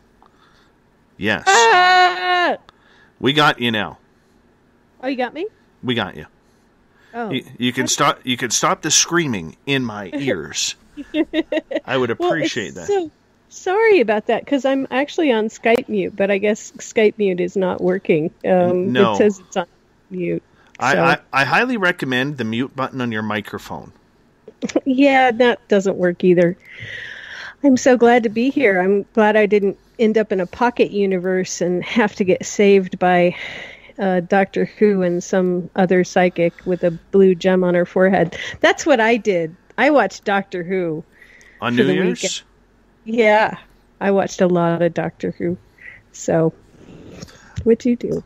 I let's see. After the little guy went to bed, I went down into the studio here and I was trying to be creative. I just couldn't do it. So I went and I hopped on Poker Stars, played in a couple of tournaments, you know, trying to up my game for because I definitely want to get back to Las Vegas this year a couple of times. So got to practice. So I was practicing on there and I was watching YouTube videos of airsoft because I'm really into the airsoft. I, I, I really want to play it, so I have to go get an airsoft gun so I can shoot BBs at people. That just seems like all sorts of fun, and you know, rocking away, just kind of spending my night just chilling out. I listened to your show. I was surprised that you were on on New Year's Eve, and so I, I, just have no life. yeah, I, I know the feeling. I know the feeling. You know, so that that's kind of what I did, and I, I wanted to actually say thank you for that because you know, uh, not everybody goes out, not everybody goes and you know celebrates you know New York City style or or even you know restaurant style or party style. There's a lot of us out there who who like to just kind of hang out and and relax, and Yeah. that's and that's uh, where I thought you you stepped up to the plate and you did well. Well, thank you. Yeah, I, I talked to Paul about it, and I said, Paul, we'd normally do a psychic Sunday on this Sunday. Are you doing anything? He said, Well, no. And I said, I'm not doing anything either. And so we we just decided to do it. It was great. We had great callers, and I got some interesting stories out of Len in the Spreaker chat room, and you know, it it was it was kind of like our own party, so that was a good thing. No, I thought it was. do I, th- I thought it was fantastic. I thought it was Mhm. fantastic. I did a little bit of work on the show, Mhm. y- you know, because we always have to change things up, and you know, I, um, you know, I think I'm pretty happy with the way things are coming down. It was just nice and relaxing. I didn't have to worry about anything. That's what I like. Yeah. Y- You know, I do want to mention that I believe you are coming up here this year for the official first annual Cariboo Paracon put on by Spaced Out Radio and Questers of Canada. And that will be the weekend of September 28th to the 30th at the Spruce Hills Resort and Spa. We've already got the place booked. Everything is going, barring forest fires, knock on wood. You know, mm-hmm. you know, we're we're ready to go. And we're ready to start pushing for a, a great event that's going to be very well rounded. I have to confirm a couple of the speakers. And once I get that confirmed, I think it's going to be just a, a wonderful event filled with some very good times. And we want to make sure all our Spaced Out Radio listeners have the opportunity to be there. Bill Hauser, I found out today, moments ago, Bill Hauser from our live Ghost Box sessions is going to be there doing live Ghost Box sessions. He's going to get himself a table and he's going to be a part of our paranormal panel. It's going to be good to have Bill up here for the weekend. So that's exciting. Yeah, that is exciting. I've only done a couple of those live ghost box se- sessions, so it'll it'll be a lot more fun in person, I think. But yeah, that is cool. Really cool. I think it, I think it'll be a lot of fun. I think it's going to be And- a lot of fun. Well, I, I'm actually looking forward to the SOR hot tub, which I've heard about for so so long, and have not had a chance to to enjoy yet. So, um, you know, if you don't see me when the whole conference is going on, it's because I am in the SOR hot tub, and and you know, because I'm a hot tub muffin, basically. So sorry if you don't see me. That's where I'll be. Well, you know what? 'Cause you There, have a hot tub. there are a few hot tubs there. A few hot tubs. But Corey has the official SOR hot tub, so we're going to have to open that up to a very select group of, of people, and hopefully, just hopefully, when you're out there, the Northern Lights come out to play. Yeah, that would be great. And you have moose up there, right? Canada has moose. I I haven't Yes. seen moose since I lived in Michigan. And you know, it's the kind of thing you think in western Colorado you would have moose. They they put them back on Grand Mesa, but they hadn't migrated over to where I lived. So, you know, I want to see a moose. Everybody, I want to see what critters you guys have I, up I, there in Canada. you know what? I I've seen since I've been here, I've seen three moose out in the wild. And but I want to see one of them big bull moose that have like the the giant rack. I haven't seen that yet. I want to see that. That and wolves is what I really want to see. I've seen pretty oh and Sasquatch, of course. But Mhm. but out of all the animals, the, and a grizzly bear. Pardon me, I know I'm adding up here, but we have so many different f- animals here from from you know cougars to bobcats to lynx to martens to ptarmigans, which I did see. You know, and if you come in the summertime up here, uh, what's the word I'm looking for? Pelicans actually come onto the local lakes here.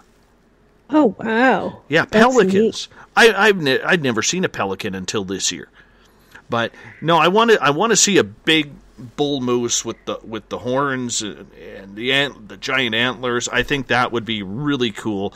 Haven't seen one of them before, but I'd also like to see a grizzly bear because I haven't seen a grizzly bear in the wild, and I think that would be kind of cool. That would be very cool. Well, we'll have to go. We'll have to also. I'll have to take more time so I can go critter watching while I'm up there. Besides all the exciting conference stuff. Well, we are Um, we are the week after Eric Cooper's Forest Moon Paracon. So what we're telling everybody is, if you have the opportunity and the ability to do so, come to Concrete Washington for September 22nd, 23rd, and then on your week off of work, if you have the ability to do that, you drive on up north and you come to the Cariboo Paracon in 108 Mile Ranch, British Columbia. Remember, if you're American, the prices are cheaper because I think it's only 77, 78 cents a dollar. That's the equivalent of a Canadian dollar. So you're getting like a dollar 23 on your money around there for every dollar. It, it's a great little holiday, great little getaway. You could see where we broadcast in the old log cabin here of SOR headquarters, you know, and who knows. What I might do is if we get enough spaced out radio listeners attending this, I might even throw a party at my house. I may do that. We'll we'll set a big bonfire in the back, you know. We'll get Tony, the neighbor who's a firefighter, he can watch over it. Maybe stoke it a couple of times, bring the fire uh, truck out if it gets too hot. But you know, there's a lot that we can do. We'll figure it out. We will definitely figure it out. It's Party at good Dave's house. Party at Dave's house. That's right. That's right. Yeah. Party at Dave's house. That sounds good. So, you have a lot going on for the new year, right, Dave? I'm not just going to interview you, but you have a lot going on. Well, we do. We do around here. We are, like I said, we are pushing the the GoFundMe page very, very hard right now because we have five radio stations locally here in British Columbia who want to pick us up. Plus, we have other stations that are waiting for us for the terrestrial. And I think this is our year, Liz. I really do. I am fully convinced that this is our year. I'm I've had, you know, some really good readings and I think it is the SOR year. I think it's coming up. I think it's going to happen. And, you know, you're going to have to hang on for the ride, man. Just Mhm. hang on. Mhm. That horse is going. Mhm. Well, very very cool. Mm-hmm. Very cool. I think it's going to be a lot of fun because, you know, you add five stations right off the bat, and it automatically gives you that credibility. And all of a sudden, other stations start looking, well, what, what's that show over there? What what are they picking up? And, and what's that all about? And then I think we'll get the numbers. I think we'll get everything that we need. I th- really believe this is our year. This is the first year in a long time I've started off very, very positive. Normally, not that I'm a negative person, but I usually am one of those, well, what if type people. You know, what if it doesn't go this way? What if it doesn't? But this year I'm trying to be different. You know, I don't know if it's going to work. I, Liz, I don't know if it's going to work, but I'm trying my damnedest. Good. Good deal. Me too. So, I've got some stuff coming up I want to tell people about. All right, fire away. Okay, so um, I have some clients. Believe it or not, I have clients who who need to take spirit mediumship class. So I'm going to be doing an on the phone conference call, uh, beginning mediumship class in starting in February. If you are interested in being in that group, it's going to be a very fun group because the people who who need to be taking it, who who have had their guides come through, smack them in the head, then smack me in the head and say, "Teach this, darn you," are really great people. Um, but if you want to be involved, you can go to you can email me at info at elizabethanglin.com. And if you're doing any sort of paranormal investigations, this could be something that you can add to your toolbox. And you are welcome as a paranormal investigator. And if you think you have mediumship capabilities and have never been formally trained, not formerly, but formally trained, the protocols I use or the, the training I use uh, comes from the oldest spiritualist church in North America, the, first spiritual temple in Boston, Massachusetts, from the Ayer Institute there. So um, it's good, solid training, and uh, you are welcome. Just email me info at elizabethanglin.com, and that'll start February 14th and go for eight weeks. So that's one thing the next thing I found in my shop, everybody wanted metaphysical stuff. So I'm changing the whole format of my gallery, and it's now because people were just buying the metaphysical stuff, I'm going to sell metaphysical stuff. So that's the other thing, the main thing. But it's kind of cool. It's going to be busy. New new displays, new everything. Um, and let's see. And we have some good shows coming up for Cosmic Passport in January. We have letters to uh, love letters to Leo Sprinkle with Kate Grabowski on Sunday, and Kate has gone through all of Leo Sprinkle's archives with letters from abductees. So if you are an abductee, if you want to hear what other people are saying and what they're writing and have written for decades to Leo Sprinkle, this will be the show for you. It's going to be a great show, and I'm really, really looking forward to it. Um, and then we have Paisley back the week after. And then Eric and I are going to be talking about time crystals and wonky new discoveries in 2017 and how they what they have to do with the paranormal and possibly sci-fi that we've all been thinking about forever. Because if you are listening to this show and you're not into sci-fi, what's wrong with you? I mean, no, you aren't listening to this show if, if you haven't at some point in your life been into sci-fi. So that'll be the week after. So that's what's going on with Cosmic Passport. That's my news. Sounds like a great year scheduled for you so far. How do you keep it? How do you keep it going? What? How do you build momentum on that? How do I build momentum? I try not to get stuck in the mud. uh, let's see. yeah. I mean, it is, it is like energetically when you have a setback, it can be really hard to build momentum again because you're afraid to get hopeful. And I think I've recognized that about myself. It's like I can get very hopeful and then I can get very dejected. And it's a matter of, you know, I hate to sound like George Bush because I used to yell at him when he was on TV, but you know, stay the stay the course, thousand points of light. It's just you know, it's like stay the course. What was your plan? All right, that way of making your plan happen didn't didn't go the way you you expected, but you know, just stay the course and keep on going. And when I do that, everything seems to work out. I just sort of I ground myself, I reground myself to, okay, well that particular thing didn't work. But there are 250 ways to wash the dishes, so there are 250 ways to get this overall plan done. You know, you can have plan A, plan B, plan C, etc. And you know, just go on to plan B if plan A didn't work. So I have to I have to have a little pep talk, a little hey, it's all about the problem solving and getting it done. And then I just keep going. But um, yeah, overcoming the dejection when I get really hopeful and then go about going forward in, in one way and then, oh, that didn't work. A friend of mine said that I'm one of those few people who tries to, you know, the the way it looks to spirit about me is that I try to drive to the grocery store at 95 miles an hour, and nobody needs to drive to the grocery store that fast. So, you know, I could I could just slow down, and then I wouldn't get so dejected. And that seems to be the case. I've gotten old enough to really appreciate that advice. Was I trying to go too fast? Oh yeah, I guess so. Okay, slow down. Not you. Uh, Not you on speed mode.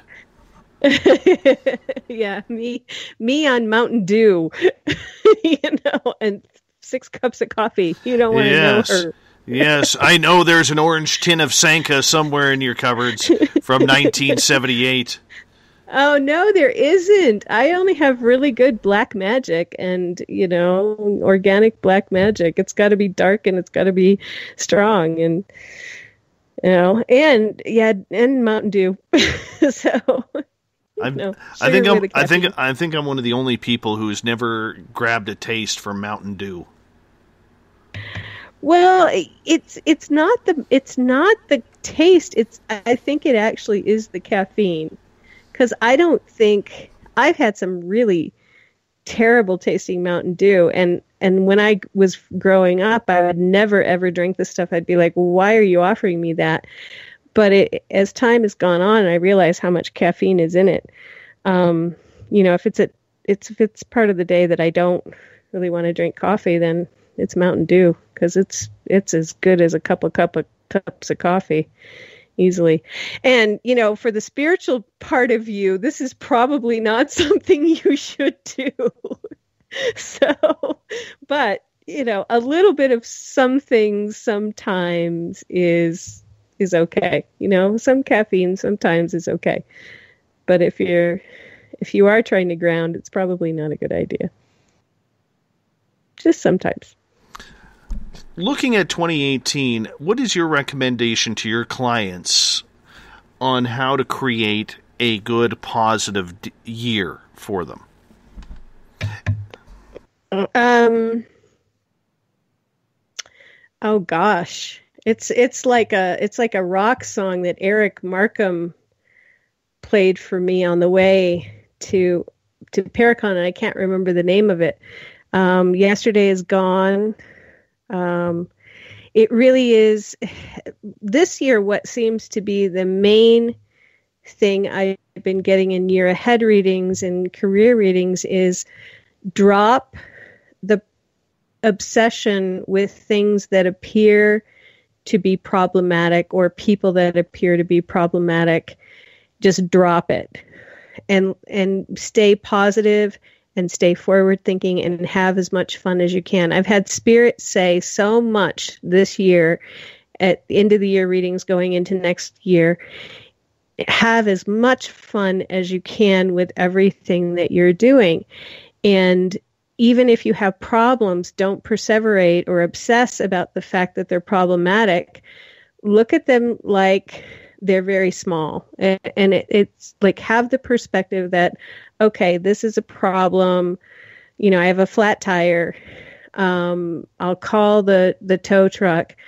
And, you know, when the gorgeous tow truck guy shows up and fixes the tire, have a lot of fun with that. Because what Spirit's been saying is that people will get kind that it's kind of a trickster beginning of the year.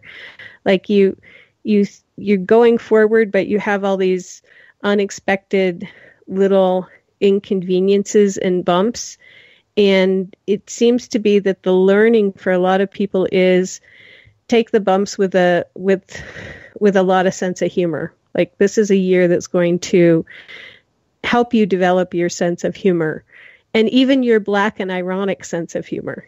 And this is not just for me, this is a lot of my clients have been getting that. So that's what I'm going to do. It's like, oh, well, you know, okay, that didn't go as planned. Well, we'll just do this. And and that I have found in the past year I've learned to do that more, but the beginning of this year I'm being told everybody is going to everybody so far that I've read for is going to need a similar th- a similar type of guidance. Well, okay, what's next? And have fun with it. Make jokes out of it. Um, don't let it be the be all and end all of if something goes wrong. It's not the be all and end all. It's just a moment. It's just what happened in that situation, and everything's going to change. I think that there's a speeding up because normally when I see this kind of pattern, there's a speeding up where people are starting to vibrate at a higher level. And so I think certain people are starting to vibrate qu- quicker, more quickly, and at a higher level. And when that happens, you're sort of you're you're pushing out old negativities and when those old negativities come to the surface then you see them very clearly and this energy of this year coming in seems to be pushing out those old negativities. And so you just want to have a sense of humor about it. Oh look there goes that negativity. Oh yeah i do obsess about that. Oh yeah i do self-sabotage that way. You just want to look at it and watch it go because something some energy of the universe is fueling these little bumps and slights and bobbles and tricks and and little negativities all coming out and just leaving. So just watch them go and stay positive is what I've been getting. So that's my plan is to watch the negative things go and stay positive. And we had a wonderful Mercury retrograde in December to start off that process for the new year of looking at the stuff that, yeah, that doesn't really work anymore now, does it? Oh, look, that doesn't work. Okay, well, let's try the next thing. So. You mentioned self sabotage. Is that something that can happen, you know, or that a lot of people do in order to, you know, affect the way their year turns out. Like we were talking with Rachel in hour number one, you know, a lot of people had bad years in 2016, followed up by a worse year in 2017, that they may be a little bit apathetic or hesitant going into 18, which we are in now because time doesn't stop, you know, mm-hmm. wondering whether or not that's going to carry over, Liz. Well, you know, I've had a similar problem because I had a lot of I had health issues that were undiagnosed in 2016, so my business didn't and my health didn't go as I expected. I had those health issues carried over into 2017 and they seem to be resolved now and I'm I'm not getting that I'm going to have those health issues. I'm really getting a clear pathway ahead. Uh, I think it's going to I think the important learning, at least for some of us, is that if you've noticed that you self sabotage in a certain way, you know, after two years of maybe not having the best years, it's time to have learned that lesson and to move into a new way of being. Um, and don't self sabotage in that way, or don't, you know, it, it, if if you get told like even in your own meditations or in your own you know your own intuition is telling you hey you're self-sabotaging. Don't do it this way. Listen. This is a year to listen because there's a lot of potential for growth and change and new coming in in 2018 um, i think you're i think rachel was talking about this being a master number year 11 and it is 11 is when you bring together all of the things that you've learned in the past and you can really look at them and see them as lessons. And you can use those lessons to create something unbelievable. It's a good year for synthesis of old lessons. So um, yeah take the 11 year and run with it now, explain to people who may not understand numerology what the 11 means and how we get there. Well, 11 is a master number for the teacher. So I'm I'm very solidly an 11. I and I I have 11s all over my chart. And what that what that means is that it's it's the energy of you know, if you are an 11, um, you are taking all sorts of information from your past lives. You may remember your past lives. Um, you may have lots of different abilities in this lifetime based on things that you've done in your past life.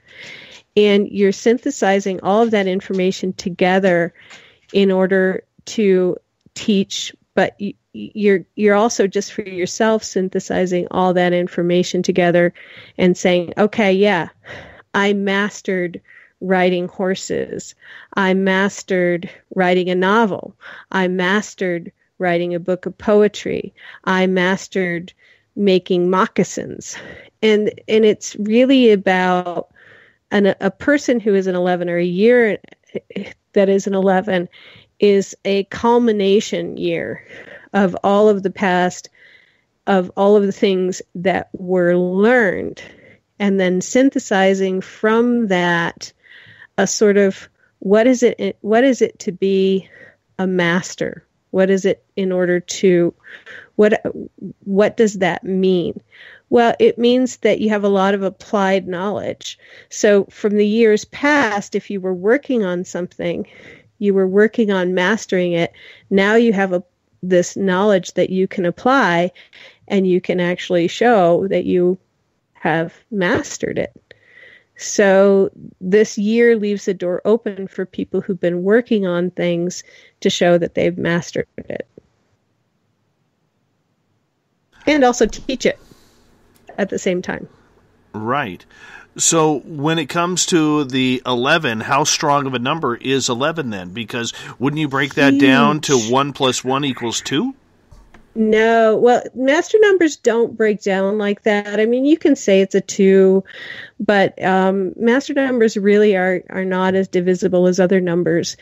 And eleven is a hugely strong number. Um, people who are 11s are you're you're marked that you know people other people who are intuitives who are psychics they see you walking around as an 11 they're like oh you're a teacher. It's like yeah you could be 15 and somebody's saying you're a teacher.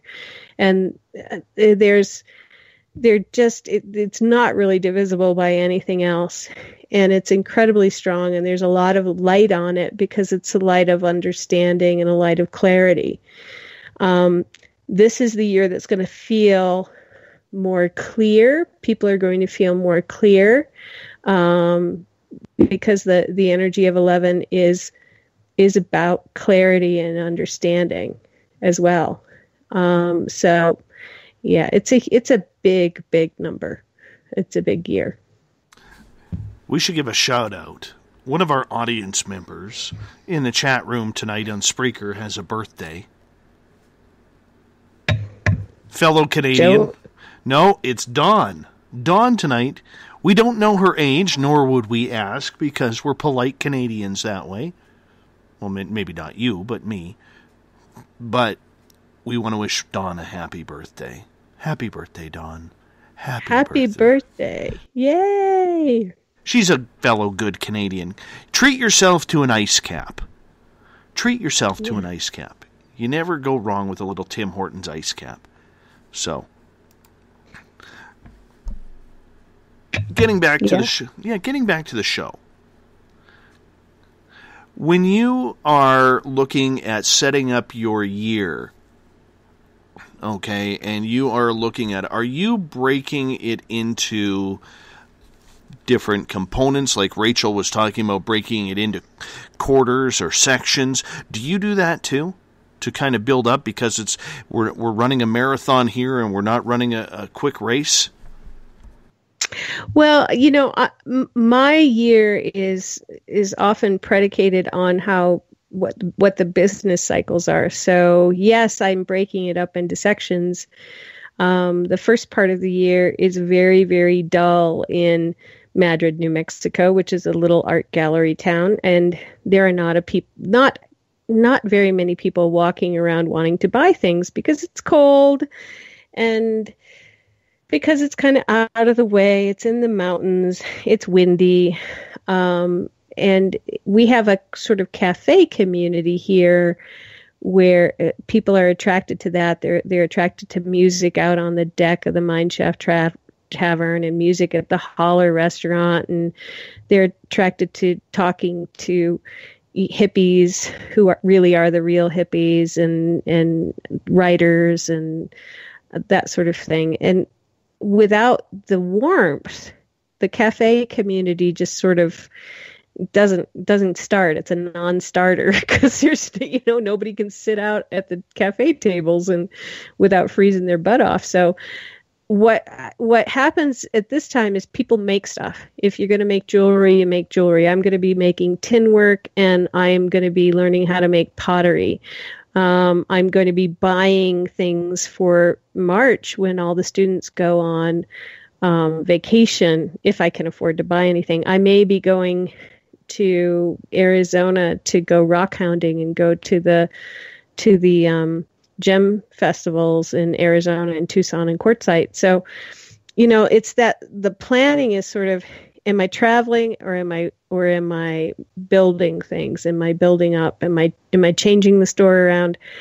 So it it's it is really sort of that get prepared for working time of year, and then when as the light comes back in March and April, um, it's see what for me it's see what you're attracting because that's when people start to come back and it's interesting because march the type of people who come in or come to me in march and april are usually the kind of people that i'll start seeing the rest of the year. And and so far it's always been good people. But there's something it, it's like spirit is saying, okay, you are learning about this, so you're going to get a lot of clients who are also learning about that, and I'll start seeing them come in in March, and so then it then becomes this this sort of other energetic learning period of I'm giving messages for people who have the same messages like I need to hear that message too and they've been guided to come to me. So that's like usually the next part of the year. Um, and then by summer it's very odd because it gets very dull in august like not much happens usually and then it picks up again in september August seems to be a review period. Something about the eight for me is always a review period. And then by the time we hit the first week of September, um, things start moving very, very quickly toward the end of the year. But I don't plan for it. I, and that might be partially, that's just the way it seems to work. Um, but I don't plan a lot because, you know, having been an abductee and having had a life where there was you didn't really get to plan for what was going to happen. There was a high degree of unpredictability about what was going to happen in your life.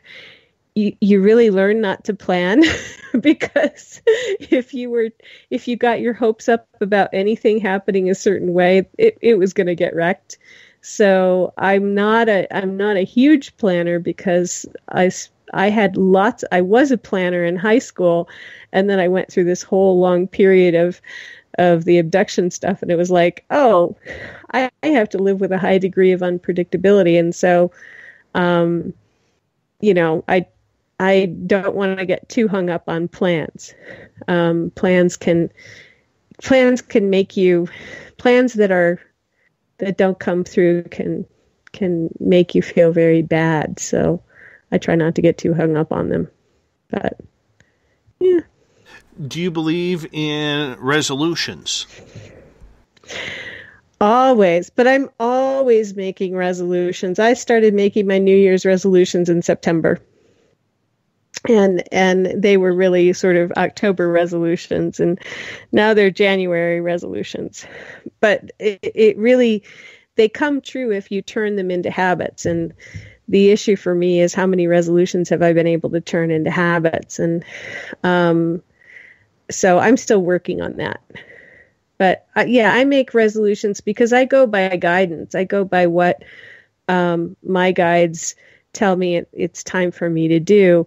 And oftentimes it's change a habit or start a new habit or start a new um, art form or uh, start a new project. And the the issue is really to make anything get done is to start the habit of doing it every day or have a habit that works every week that that I'm working on. So I believe in them, but I don't believe in them just for January. That it's it's all year long. Oh, wait. Okay, so this is a new thing. Okay, I've got to start doing this.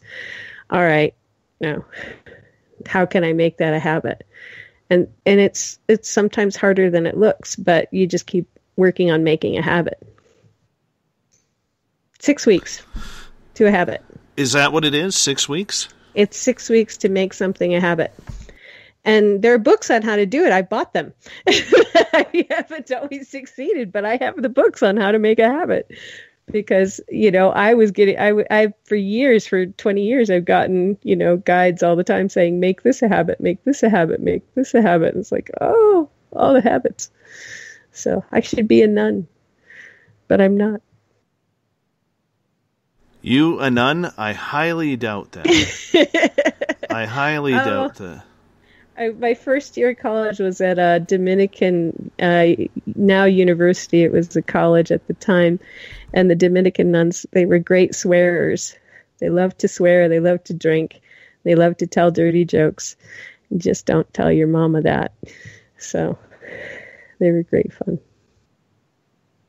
You know, we also want to wish a happy birthday to Ozzy Andy. Ozzy Andy is celebrating his birthday. Technically, it's not today here, it's tomorrow for us, but it's today for him. So we are going to, you know, make sure that we have that ability to say happy birthday to you, Ozzy Andy, as well, and thanks for sharing it with us here on the SOR. So that's kind of cool for you too. Yeah, Andy, happy birthday. You made it through another year. Woohoo! Good old Aussie Andy. Aussie Andy. And tomorrow it's Catherine James, our social media person. Woohoo! All these great Capricorns. I know. My birthday is next week Yes. on the eleventh. so, yeah. Go Capricorns. Well, my daughter is on the 17th, so it's going to be it's going to be great. Yeah. Go stubborn Capricorns. I I know. I know. You know, I'm excited for our new feature coming up here. Yeah. Okay, what is it? Thought of the Dave. Thought of the day. Thought of the Dave. We're going to fire it up in like 5 minutes. I'm I'm kind of geeking out about it. Kind of geeking Okay. out about it. So, you know, we'll figure that out. I'll let you know about it in like 5 minutes. So, it's just the way it is. I even got some intro music to it. I'm kind of uh, I've been working on this for a while, man. I've Been working on this. It's finally time. Good. Yeah. So Yeah. so before we get to that, because we have about four minutes before we're going to get to that, I want to get, get your thoughts on what kind of energy does the year 2018 have? Well, you know, it, we we did this on Sunday night, and Paul was talking about the freight train energy. That this is going to be a really good year for business for a lot of people. Um, it's going to be a really good year for doing things with people that you know, people that you like, especially if you're in Canada. Um, doing business with friends. Um, it's going to be a year of feeling like there are less fewer restrictions um, that that people may feel less restricted unless you're really poor which i'm on the borderline of that so maybe i'll feel more restricted. But that if you are doing some kind of business or you're doing some sort of project or some sort of creative work or, or you're in politics business and politics and projects and creative work you should feel less restricted. If you are you're in you're not able to do those things it may feel more restrictive to you because we've you know because of where things have gone and just the energy of that. So um it is also i think that more secrets are going to come to light. Um i'm really feeling that that lots of secrets are going to come to light and everybody's going to go oh yeah i knew that oh yeah i knew that. And it won't it won't really matter if they're sort of public figure secrets or personal relationship secrets that that people will just look at the secrets that are revealed and go but i knew that. You know i could be upset but i knew that already. Um and there's also a sense that the people who went through an ascension process in 2012 2013 are really going to start to notice how much more intuitive they have become. And so you know when when things are brought to light and the truth is out they'll go yeah but i knew that the whole time. Because why? Because wow because i'm clued in now i'm clued in with the whole. So people who were wondering what was happening with your ascension process will go oh right there it is. I see it. Yeah i i am connected with the whole in a much different way. Um i think it's really going to be a good year for a lot of people. And and almost to the extent that even if something bad happens people will just shrug it off like oh that was terrible all right shrug it off you know shake it off so i i have i have high expectations for the year being good for many many people Well, that's a positive outlook. Yeah. Well, aren't you just a bag full of sweet jelly beans? Hey jelly beans are awesome don't knock jelly beans I am not, you know, I, I don't like the yellow ones. The yellow ones I'm not fans of. just yeah, it was like Mountain Dew. You know, those are yellow can be a don't eat yellow snow and maybe Exactly. not yellow jelly beans. Exactly. Exactly. You know, I'm more of a uh, Swedish berries kind of guy. Do you got Swedish berries down there? Swedish. we have we have some other things which I won't mention on air. We don't have we have Swedish fish. Oh. We have the fish. Oh, the see, they come in like little raspberry shapes. Oh, you're missing out. You're yeah, missing well, out. I think the fish are the same same thing, and you can usually get them when you go to a movie. All so- right, Liz, hold on a second here. I got to fire up the music. There we go. We got Mr. Bumblefoot's Cuterebra playing right now. We're starting a brand new feature here on Thought of the Dave on Spaced Out Radio. Now, Thought of the Dave is a concept we actually came up with a little while ago myself, Everett Themer, we came up with this where I started posting questions on my Facebook profile and to get your reaction to them. So, we're going to start this and make this a daily feature on this show here, the final 10 minutes. So that way we can kind of bring you into it. It's another way that we have opened up the lines of communication for all of you to be a part of this show because we want you to be a part of it. That's what makes this so special. All of you get to be involved with the show as well. So, my question on the thought of the Dave today was to start off the new year, we see a lot of people turn to psychics to start off their year looking for predictions on what is coming. Do you buy into these year long predictions where you see psychic people who are very talented, you know, predicting what's going to happen in March, June, July, October, November, December? So these are some of the comments that we got. And Liz, please feel free to weigh in here because you're a part of this team. PJ stated, It's a waste of time. It's perhaps similar and as worthwhile as reading toenail clippings, but for many it's a worthy social event to pretend to buy into it all or just play total skeptic for fun. PJ's the person who walks by my sign on the street, disses it, and is totally evil. That's who you are, PJ. I know so many people like you who walk by my sign and totally diss it. So that's what I think about that answer. All right. Wow. Angela, who has been a guest on this show, she actually introduced me to the ghost in my yard. She says, I like to go back a year later and see what they got right and what they didn't. Most of them claim they get so much right, but they don't. I know I should be all for them and cheering them on, but some of them just don't know what they are claiming to know. I agree with that answer. Let's get to. I yeah, I actually do. I I did a year ahead thing for um for the Alibi magazine, and unfortunately, it was a setup by Ben Radford.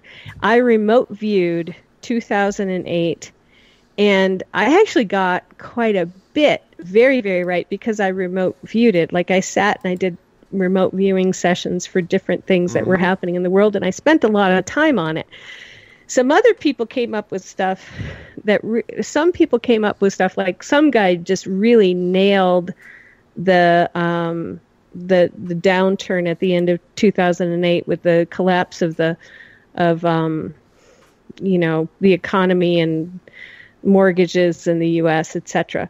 Um, really nailed it. I got floods in the Midwest. I got um, some other things in Taiwan. I got I got uh, ex- more E. coli outbreaks.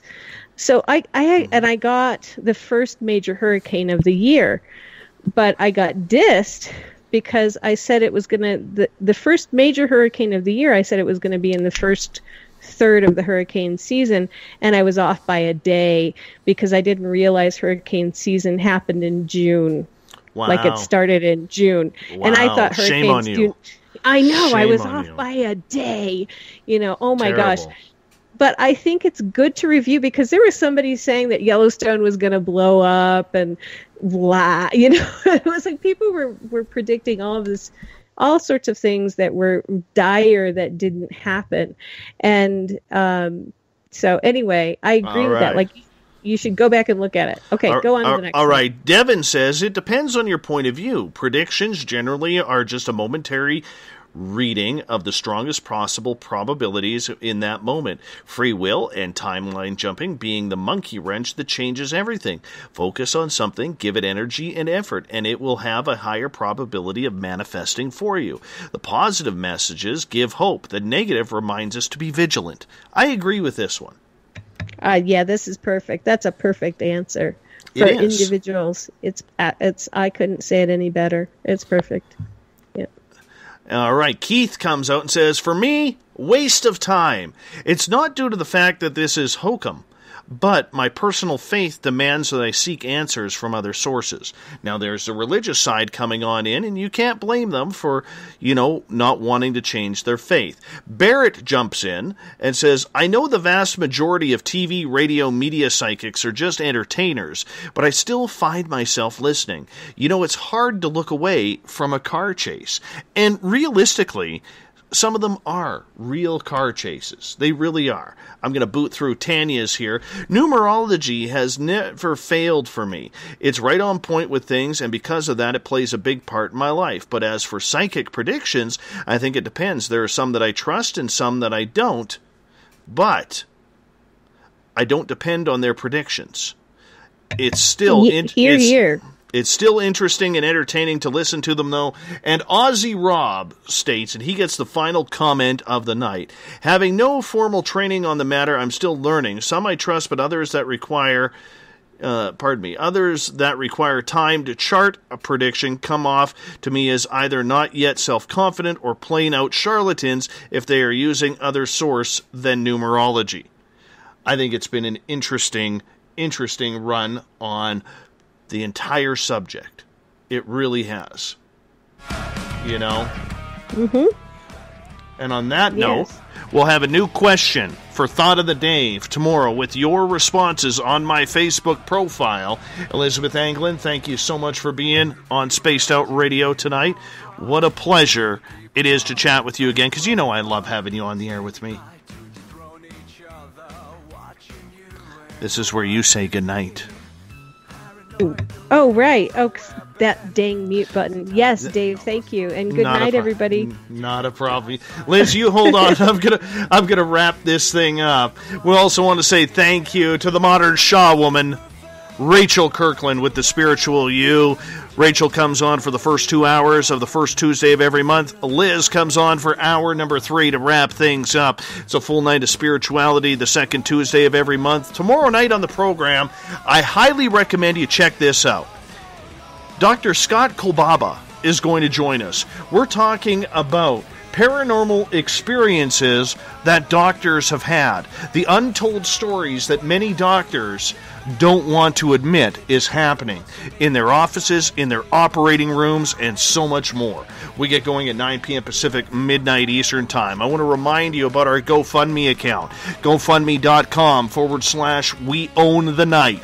Help us raise money to build a brand new spaced out radio studio so we could take this show terrestrial. And if you don't have the funds, that's okay. Sharing it means just as much to us. Thank you so much for supporting us. GoFundMe.com forward slash we own the night. I want to give a big shout out to everybody listening at home, at work, in their cars for taking a chance at listening to us. Everybody at hashtag spaced out radio on Twitter, in the SOR Space Travelers group, and in Spreaker for participating in tonight's chat.